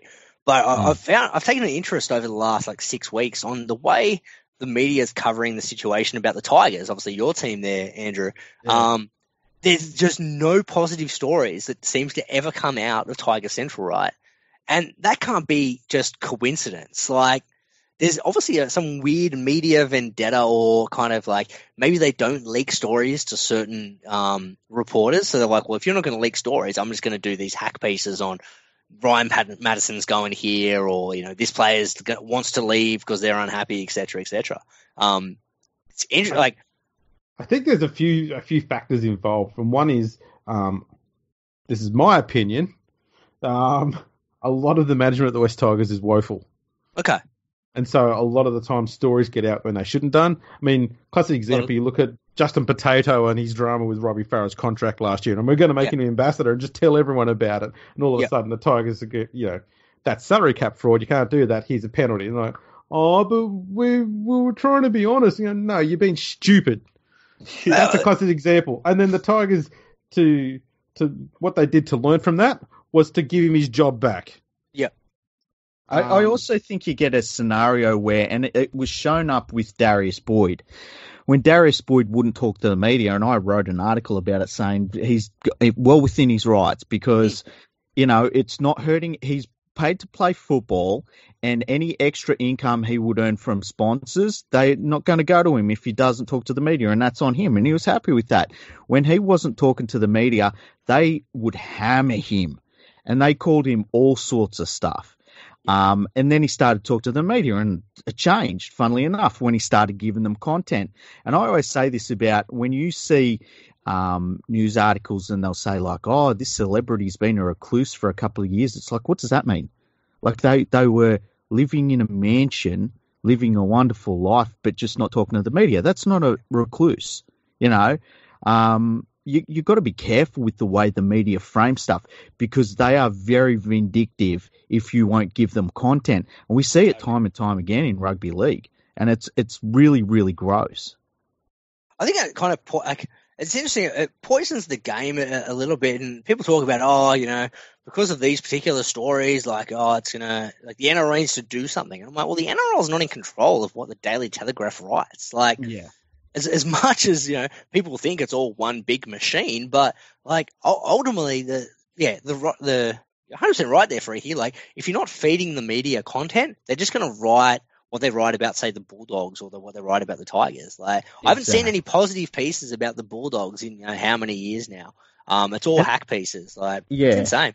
And the thing is too that these clubs don't need to rely on these media companies to get their their information out anymore, like their game day stuff, and they they've got more followers on Facebook and Twitter and yeah. all this, and it is only a certain section of the the community that you get through social media, but it is still a fair whack of the community. So they don't have to rely on these media companies so they can give them less. But then, as we see with the media companies, they just, you know, they'll make shit up if they have to. They'll hmm. create stories. I mean, how many stories have we seen that are just created out of thin air? Um, or innuendo or guess guesswork and things like that. I mean, Sam Burgess is Sam Burgess is living the dream and they're trying to turn that into a negative. It's like, yeah. no, he's doing. I'll swap places with Sam Burgess right now, for, in a sec. you know, I'll, I'll, I'll with honestly, the bikini model on his shoulders. Put yeah, him on freaky I'll, shoulders now. I'll ditch you two. She can be on my shoulders, and I'll be in fucking Mexico or wherever he is. And I'll wear the leopard skin bloody fucking pants he's wearing, whatever. You've seen it? it? Yeah, there you go. He's in the Fred Flintstone gear. Yeah, man. Yeah, tell you, when when you when you said freaky that um you know the clubs have got more Twitter followers and stuff like that. Yeah. Were you taking into account the burner accounts as well of these journos? I wasn't taking into account the burner ah, accounts. See, you've, you've got to remember the, the burners. burners. Hello, hey, Fran, if you're listening. Fran, the one. ML one two four four five. Yeah, M- ML was a good one. The ML was thing... the best one because ML had a burner account for his burner account. He's an yeah, absolute yeah. genius. He's like, yeah. I'm gonna go next level. I'm gonna I'm gonna support my own burner account. And that's the thing. The burners were actually were not supporting him. They were supporting the other burners that were supporting. Hundred percent. Yeah, it was it was like next level shit. It was Matrix style, man. Yeah. What's that movie where? And I forget the name of the movie where they go dream within a dream within a Inception? dream. Inception. Inception yeah. Yeah. It was bloody Twitter inception with these idiots. And the like burner like, within a burner within a burner. And you need a bloody te- you need a fucking telephone number to set up a new account, which means that these dickheads were using multiple telephone numbers to set up burner accounts for themselves. Like I remember people used to say to me, "Oh, you set up other accounts and stuff." And it's like I'm too fucking lazy. You know, if I want to upset people, what am I doing any different to what I do now? I didn't need a burner account, but these journos apparently do. And the funny thing is, it's just to praise themselves. Yeah. Can you can you imagine setting up an account to praise yourself? It's the main thing about it. Is, the main thing about it is the fact that um, they they have they do this thing where they, they put themselves in this echo chamber because if anyone disagrees with them, doesn't matter how politely they do it, block, yeah. And so the only people that are left talking to them are people who have the same opinion as them, and then they find that that's boring. So they go yeah. and write an opinion piece where they try and get drum up some some different uh, uh, opinions, and then they remember, oh, that's right, we don't like it when someone has a go at us. So block, block, block. block. Yeah. so if you if you lack the spine to accept criticism, don't be an opinion writer. I, I don't I don't get how yeah you can try and be both. You can't. You just can't. You can't. It's like, and the the stuff that you get, sometimes it can be nasty, but you know, you got you just get rid of those people. It's the ones when you get constructive criticism, read it because you might be wrong. That's it. Yeah, if it's an article that's written that has facts in it, I'm more than happy to, to read it, whether it's something I agree with or not. It's yeah, yeah it's that innuendo, it's the gossip. Like it's like high school when it comes to, to footy media, which exactly. is really kind of poisoning the, the fan base unintentionally and through no fault of the NRL. It's just yeah, what the media is putting out there. Yeah, I always say to people, just don't read the newspapers and don't take in any of the shows that are on TV, and you'll enjoy 100%. rugby league way more. I haven't um I, I haven't read a, a I haven't clicked on a Daily Telegraph article in about four and a half years, and I'm a happier man for it because Yeah. I just I found myself getting angry, and I'm like, hang on, dickhead, like you're in charge of what you click on. Like if these Yeah. articles are making you angry, just stop reading them. Like because you Yeah. know they're bullshit. You know this it's all just made up stuff, and that's why I really loved um uh is it Ben- Wallace on Twitter who did the the rumor monger tracker earlier this year Mm. and was showing the the accuracy of articles compared to what the actual outcomes were in certain rumors. And some people were like thirty percent accuracy, but they're considered as journalists, and it just astounded me. The good thing about the the having the podcast, I must say, is that I started going and viewing Daily Telegraph website again because it, gave me the opportunity to provide content for this show, where we can sit there and um, mock the media for everything they have got wrong or every uh, opinion they had that was stupid. That's what we used to do on a Sunday morning. We used to just buy the Telegraph and just read through Buzz's like Sunday column and pick out all the stupid bullshit. And we got about 25 minutes out of our hour out of that one article. it was that easy. His his spotted columns are fantastic there because it's just like spotted. What was the one the other week? Josh Dugan took his dog to the vet. Yeah, wow. that's What was, the, journalism. um, what was the, the rumor about Dugan this week? Uh, it was some I had nightclub incident. I refuse to click on any of the shit. So yeah, I don't- yeah, not read into on it. He he apparently had some sort of scuffle or something at a nightclub somewhere.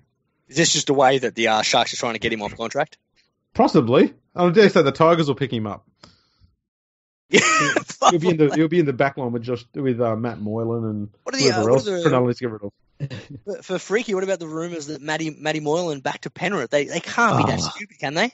Uh, Hopefully not, because Has that I happened? remember that, that that fucking finals game where he's out there mass- chucking the ball around with the ball boys. He's completely fit, and we're about fit to play as, yep. game. It's like go fuck yourself, Matt Moylan. That was my exact thing. He was captain that year. I, and whenever I talk about Matt Moylan, that's the game I point to because he was Mm-hmm. injured for the first final, but he was fit for the. I think it was it was one before the prelim, and he was fit and he, he chose not to play. I'm like, your fucking captain chose not to play a, a qualifying final. Like, get rid of him. Like, I don't want him anywhere near any club. Like, that's terrible. Yeah, and look, if I Penrith- was a Pen- sorry, I was going to say, are Penrith chatting with him now?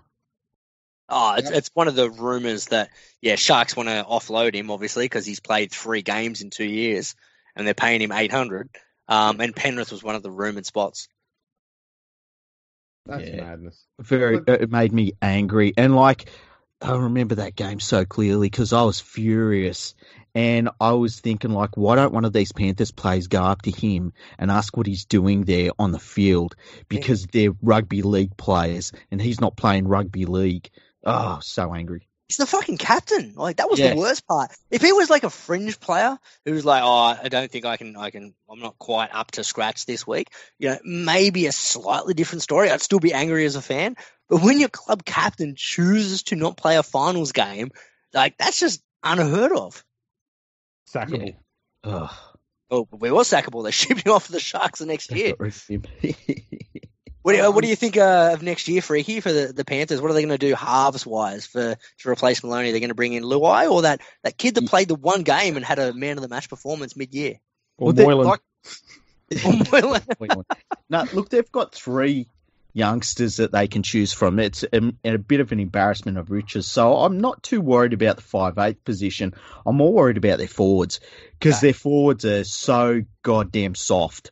Um, and it, like it doesn't matter what the rest of the team does. Like they've got some really good backs. They're always going to chew out backs from their their uh, junior base because they've got so many juniors to choose from. But the forward pack is what really worries me.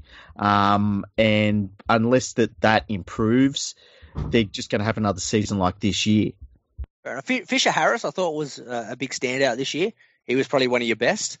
Um, Isaah. Yeo is a guy that plays with all heart all the time when if he can stay on the field. I think he, did, did he retire? Is he retired now, Yeo? No, I thought he was still playing. I th- uh, like yeah, he's still playing, but I because he got, had a couple of like he was getting head knocks and just beaten down. You know, it's at some point a player it's almost as though their body just gives in to the punishment. And I thought maybe he'd retired, but I, I could be wrong on that. Um, wrong. they've- That I, I can't believe I'm wrong on something. Hey, this is this is the day. It's the first day. Um, that, look, they got rid of uh, what's his name, Campbell Gillard. Campbell He's Gillard, I think it wasn't the same because it was it was a head fracture, jaw fracture, something like cheekbone. yeah, He had one of those like head trauma type injuries where he just didn't come back. Yeah, as a front rower, you've got to be an absolute animal, and I think the fear of the that injury just he just wasn't right once he came back. Yeah, it was weird, and uh, like Fisher Harris, he was one of the better ones. Tamou is like a fringe first grader now; he's on big money. Yep. Um, you know, Kikau's fantastic, but I worried that Too they much used him- reliance, man. Too much reliance. It was all just give the ball to Kikau and hope for the best. and he's playing so wide out in the field. It's like I think he needs to move infield a bit more, especially with the size of him. Like if all he did was hit ups, he'd be a really good forward. He has all of that extra skill and stuff like that. But I think that they've pigeonholed him a little bit too much. I'd like to see him move infield a little bit more. Um, they need some more. They like there's talk that they'll get uh, Waerea-Hargreaves from the Roosters. You can't pay that. He's what thirty one already. Like, Yeah, and that, and he's, they're going to be paying overs for him at that age too. Yeah, and with his judiciary record, I mean, how many Plays games nine games a year. out of him? Yeah. so I'm I'm kind of hoping that there's some forwards in the lower grades that they're going to bring into first grade because we really need we need a new forward pack. That's what it They're comes lacking down. a bit of mongrel, aren't they? Like it's Yeah. it's that that front rower who has that kind of clemmer aggressiveness. Like don't get me wrong, I think uh, JWH should be a good addition if he was maybe four years younger and on about 300k less. Because it's exactly. Exactly. what that pack needs. Like Tamou, I thought he actually had a pretty good year this year, but um, at the same time, for the money he's on, he didn't produce what you want, and he's a bit of one of those soft front rowers where he gets his meters, but at the same time, like he doesn't really bend the defensive line back. Um, yeah, well, like no one's worrying about playing the Panthers pack. No one's staying up at night. It's like playing against a bunch of bloody Aaron Woodses. You Mm. know, you you go to bed and you have a good night's sleep. that's who Tamou reminded me of this year. Yeah. James Woods, who will rack up, you know, 180 meters, but you're like, oh, I didn't realize he got 180 meters. Yeah, exactly. But exactly. they were 180 meters, which were all just kick returns. So the first 30 meters of each run was just gift meters. Hundred Yeah. percent. And with Kikau, he reminded me very much of uh, Tedesco with the Tigers. It was, yeah, we don't. he's our best player. Just give him the ball and hope something happens. Yeah, yeah, and that's what worries me. And like you could see some of the, he, he was starting to get some bad habits, and you could see some of them bad habits coming out in the nines. And I know nines is very different, and they're trying to do some things, but like this is a dude that is absolutely massive. He moves very well, and if he just stayed in the middle third of the field, he would be fantastic. Yeah. And it, you know they they really need to get him, I think, in that middle third of the field, and those offloads that he's normally doing to centres. If he was doing them to the fullback, and the problem is the Panthers don't have a really good attacking fullback, but to, if they were doing, if he was doing that to dummy halves, his halves pairing, and the fullback, they would be really, really dangerous because you make Mm. a break up the middle of the field, you're through. Yep. Um, but they're not doing that, and I don't know why. Yeah, a couple of positions for mine. I want to see Penrith get a solid number nine. Um, who's the guy who played nine for the second half of the year? He looked okay. Um, Was that Egan's Leota? gone. It wasn't Oh, him. Yeah, he's gone. Um, That Okay. Leota, wasn't it? no, no, that, he was the back rower. K- Uh, Katoa was Yeah. terrible. He sucked. Um, I forget the guy's name. He, he started at number nine for the better part of the second half of the year when they started to turn their season around a little bit. But anyway, like the thing I've looked at with the Panthers is, yeah, you're right. Like for, for the most part, their pack's been okay. They've always had the, the backs, but the, the last time they were competitive is when they had a really good nine with like Luke Priddis. And I think that's always what's lacked for Penrith over the last five, six years is just not having that really solid number nine that even if he plays 60 minutes, but if they can, you know, get some uh, some early ball out to the backs and, and quick good service, they'd be a much more uh, potent team because they've got all this youth out there on, on the edges that, that they can quicker get the ball to them, the more potent they're going to be, right? Yeah, and they got the the dude from Manly. What's his name? Koroisau. Koroisau, that's it. So he'll be a good addition, and he's he really is the sort of hooker that they needed to get someone that can you know make some meters out of dummy half. And the Panthers for a very long time, and you're right, it's since Luke Priddis has been gone. We oh, really oh, they got him back. had- yeah, they got Koroisau back. Yeah, so it, like they really have struggled. I mean, I remember through the Matthew Elliott years, we got hmm. nothing out of hooker. Oh, Like, I, I love your Matthew Elliott takes, by the way. Fuck. Fuck, man. I've been, uh, you forget I've been following your Twitter account for a decade now. Like I, I Yeah. love your Matthew Elliott takes. And he, he's an expert commentator on fucking the ABC radio. It's like, what's he Expert, saying? Talking about fucking wind chimes and shit. fucking. Don't start me. But All you got to do is, is mention that name, and everything in, in Freaky's head just stops the current conversation. He just starts having conniptions. It's like a, a hypnotist when they say, you know, when I say the word chicken, you're just gonna Yeah. say Matthew Elliott and just Yeah, it's freaky just- you. It's the stepping of the fingers. He starts, Yeah. head starts twitching, and he starts clenching his fists, and he's supposed to start punching holes in walls. It's taken fucking Canberra like 20 years to get over the Matthew Elliott era. like he, it's like the relief was getting Neil Henry in there Yeah. as the fucking coach. That's a Jesus concern. Christ. Well, I, I figured with um with Penrith being reported to be chasing Matt Moylan, what are the chances? Given that I saw one report saying they had a bit of a war chest to work with, I love the fact that war chest exists in War rugby chest. league today. Yeah. Um, if you're doing a war chest, you'd probably go Papenhuyzen, wouldn't you? I know that they're saying that he's going to sign Oh, with the Storm but- till 2020. But but it's Ivan Cleary. He likes paying big money to second tier sort of players. I mean, look look what he's got sitting in reserve grade at the West Tigers. Yeah. Russell Hang on. Packard. Packer wasn't his signing, was he? Yeah. Oh, he was. I thought Packer Ben- was there the year before. No, Ben Matulino. Yeah. Um, See, I thought all those things, uh, Reynolds, um, Chris yeah, I thought all those signings were before Ivan came into the club. And then, Ivan brought him over. Paid Oh, him big money. We we just got this after the, the Jason Taylor period. The Mm. the club's salary cap was a mess when Jason Taylor was there. Yep. So when they then had to get rid of him, they at, at the time by the time they got rid of him, they'd also just started to fix up the salary cap. Yep. So they thought, right, Ivan, you've got a ton of money. Go get what you need and make us a make us a good size squad and make us successful. Get us in the finals. And halfway through the next season, after making all those signs, he goes, "Ah, fuck you, I'm going to Penrith." See, the problem uh, is it's not a war chest. Like they've got their terms mixed up. A war chest is what you have and you keep it for when you're going to go to war. What we do is pay tribute to other clubs because we fucking sign a player for five years and then we tell them six months into that contract, oh, we're going to move you on now. And then we pay another club fucking 80% of their salary. So the war chest isn't a war chest. We're actually paying other clubs to have our fucking players. Well, it is. It is. It's it's a Spot on, it's, yeah. it's a it's a Penrith war chest that they're gifting to the other fifteen clubs. But the other Ah. fifteen clubs are in a lottery. They don't know which one of them is going to get the war chest. exactly. I think they're actually still paying for a bit of Moylan's contract anyway, so you might as well bring him back. Probably, eh? it's fucking those feel good contracts. They were brilliant. I, I would like to see us just clear the decks and just go to go to Ponga and say, listen, you can play alongside Cleary. You- You'll be at a club that's always producing juniors. Just come on, come on board. We want ya. We need ya, and that's that's my dream.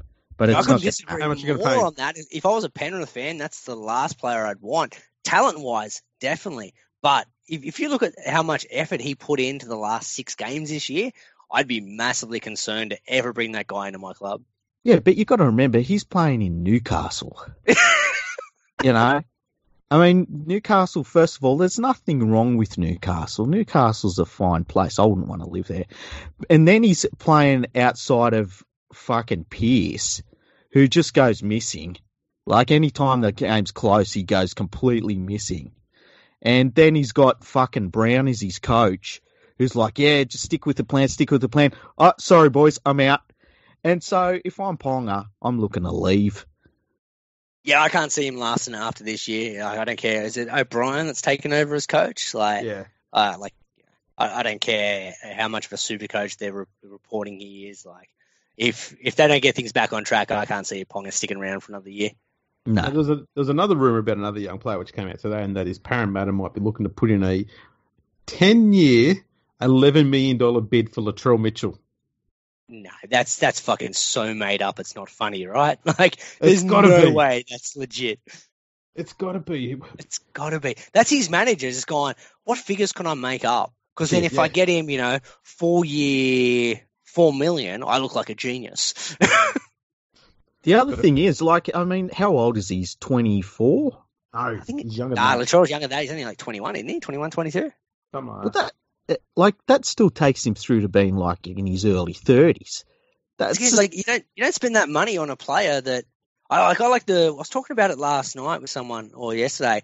The um the Wayne Bennett philosophy of like Mm. I only spend that much money on halves and fullbacks. yeah. Like remember when he, he shipped Petro off? He, he told um Andrew G. Yeah, Andrew G. Nah, man, like I ain't paying you more than four hundred. You're a front rower. Like spend your money on halves and and fullbacks and nines. Everyone else, no more than five six hundred. That's the That's rule. true. But the thing is, like, did you ever read Wayne Bennett's book? No, because I, I didn't trust that Wayne wrote it because it would have been absolute drivel if he did. Let me tell you, I read, I read it, and I got about three quarters of the way through. And Yep. when he started talking about, and this is in the nineties, this is before Super League, and he's like, "Oh yeah, we needed some some depth in the forwards, and we're, you know, we knew that, and we so we got Glenn Lazarus, and it's like you're not you're not a super coach. Fuck off, Wayne. You're not a Yeah. super coach. You just put fucking Glenn Lazarus into Broncos team. Fuck Can, can I can I make the same comment about Trent Robinson?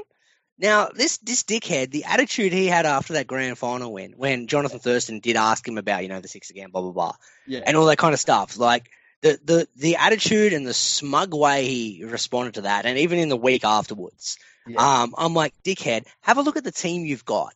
Like, you could literally put a, a bag of sawdust as the coach of that team, Mhm. and they'd probably make the top eight.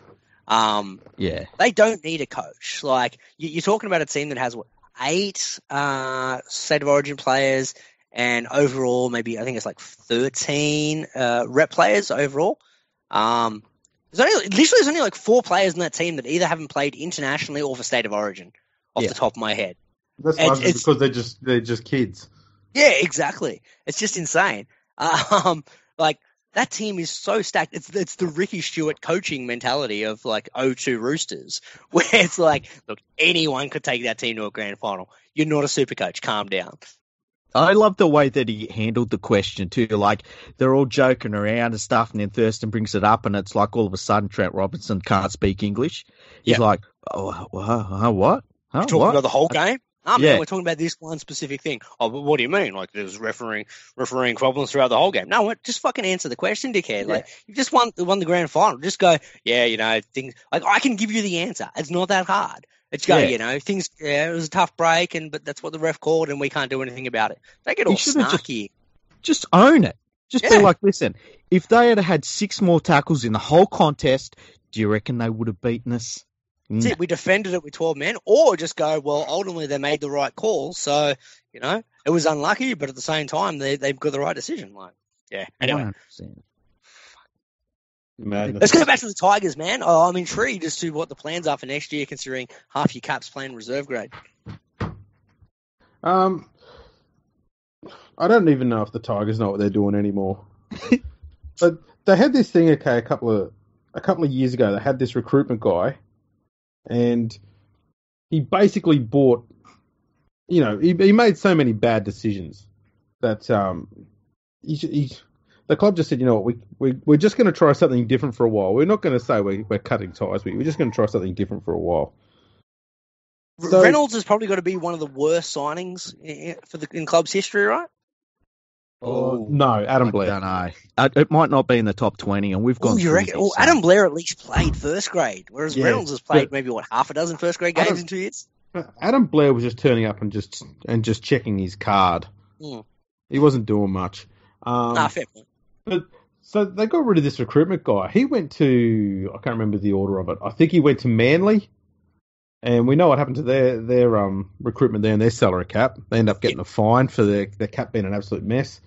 Um, so after that, he then went to the Bulldogs, and we know what happened with their salary, the cap there, and what happened with their roster. Um, and so after that, the Tigers decided to bring him back. You know, history of success, obviously. I don't know why they did it. Now they're talking to Matt Moylan.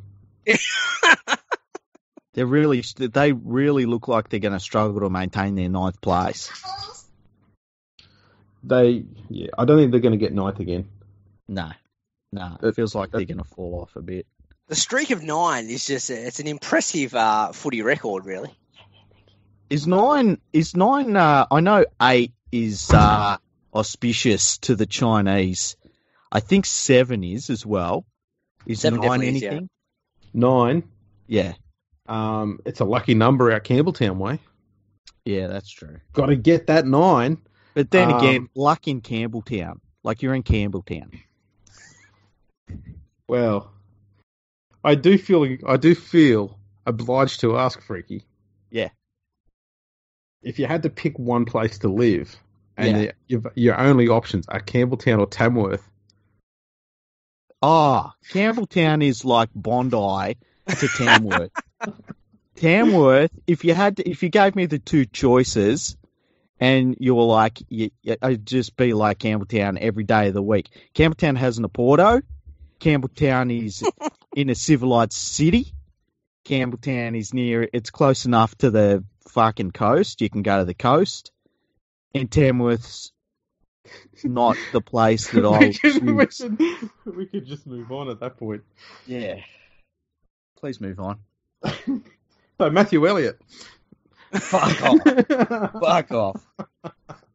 All right, gents, I've just realised we've just hit over the two hour mark. We have. Yep. I was just looking at the clock, and I was thinking at some point Greeno is going to have to go and do something. Otherwise, he will have burnt up all of his brownie points.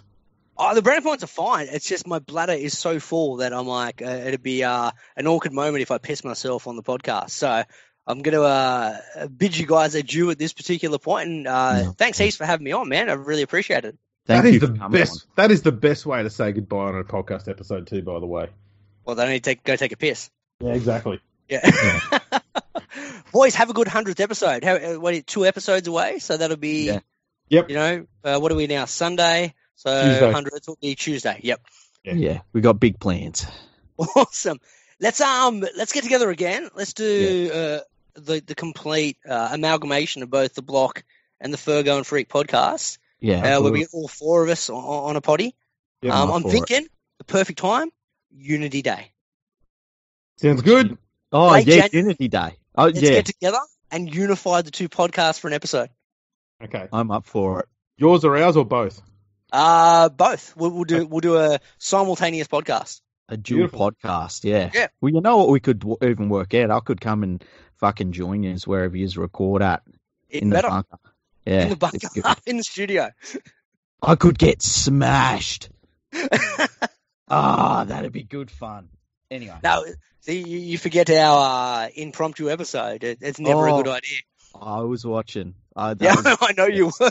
that was hilarious. I, the thing that I loved was the way you knew the words to that song from um the what's the fucking I'm so bad with names. You know that. Aladdin song? Yeah, it's the um yeah, I wish uh the whole new world. Yeah, and you knew all of the words to it and I was like this is fucking amazing. Yeah, that that's the point that show got to where yeah, we went I think it was like hour 4 and we went into karaoke where we were singing yeah, Fresh Prince of Bel-Air, we were singing Informer and then it went on to, you know, Disney theme songs at, at one particular point. That's when it's like Yeah. we probably need to delete this podcast. Yeah. That, that, that's Yeah. the turning point right there. that's it. That's the jumping the shark moment.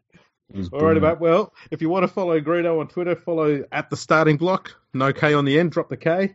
Um, thanks for dropping by, mate. We better let you go take a piss. Ah, thanks for having me on, boys. Really appreciate it. Thank no you. worries. And Have a uh, good other. we'll catch you all later.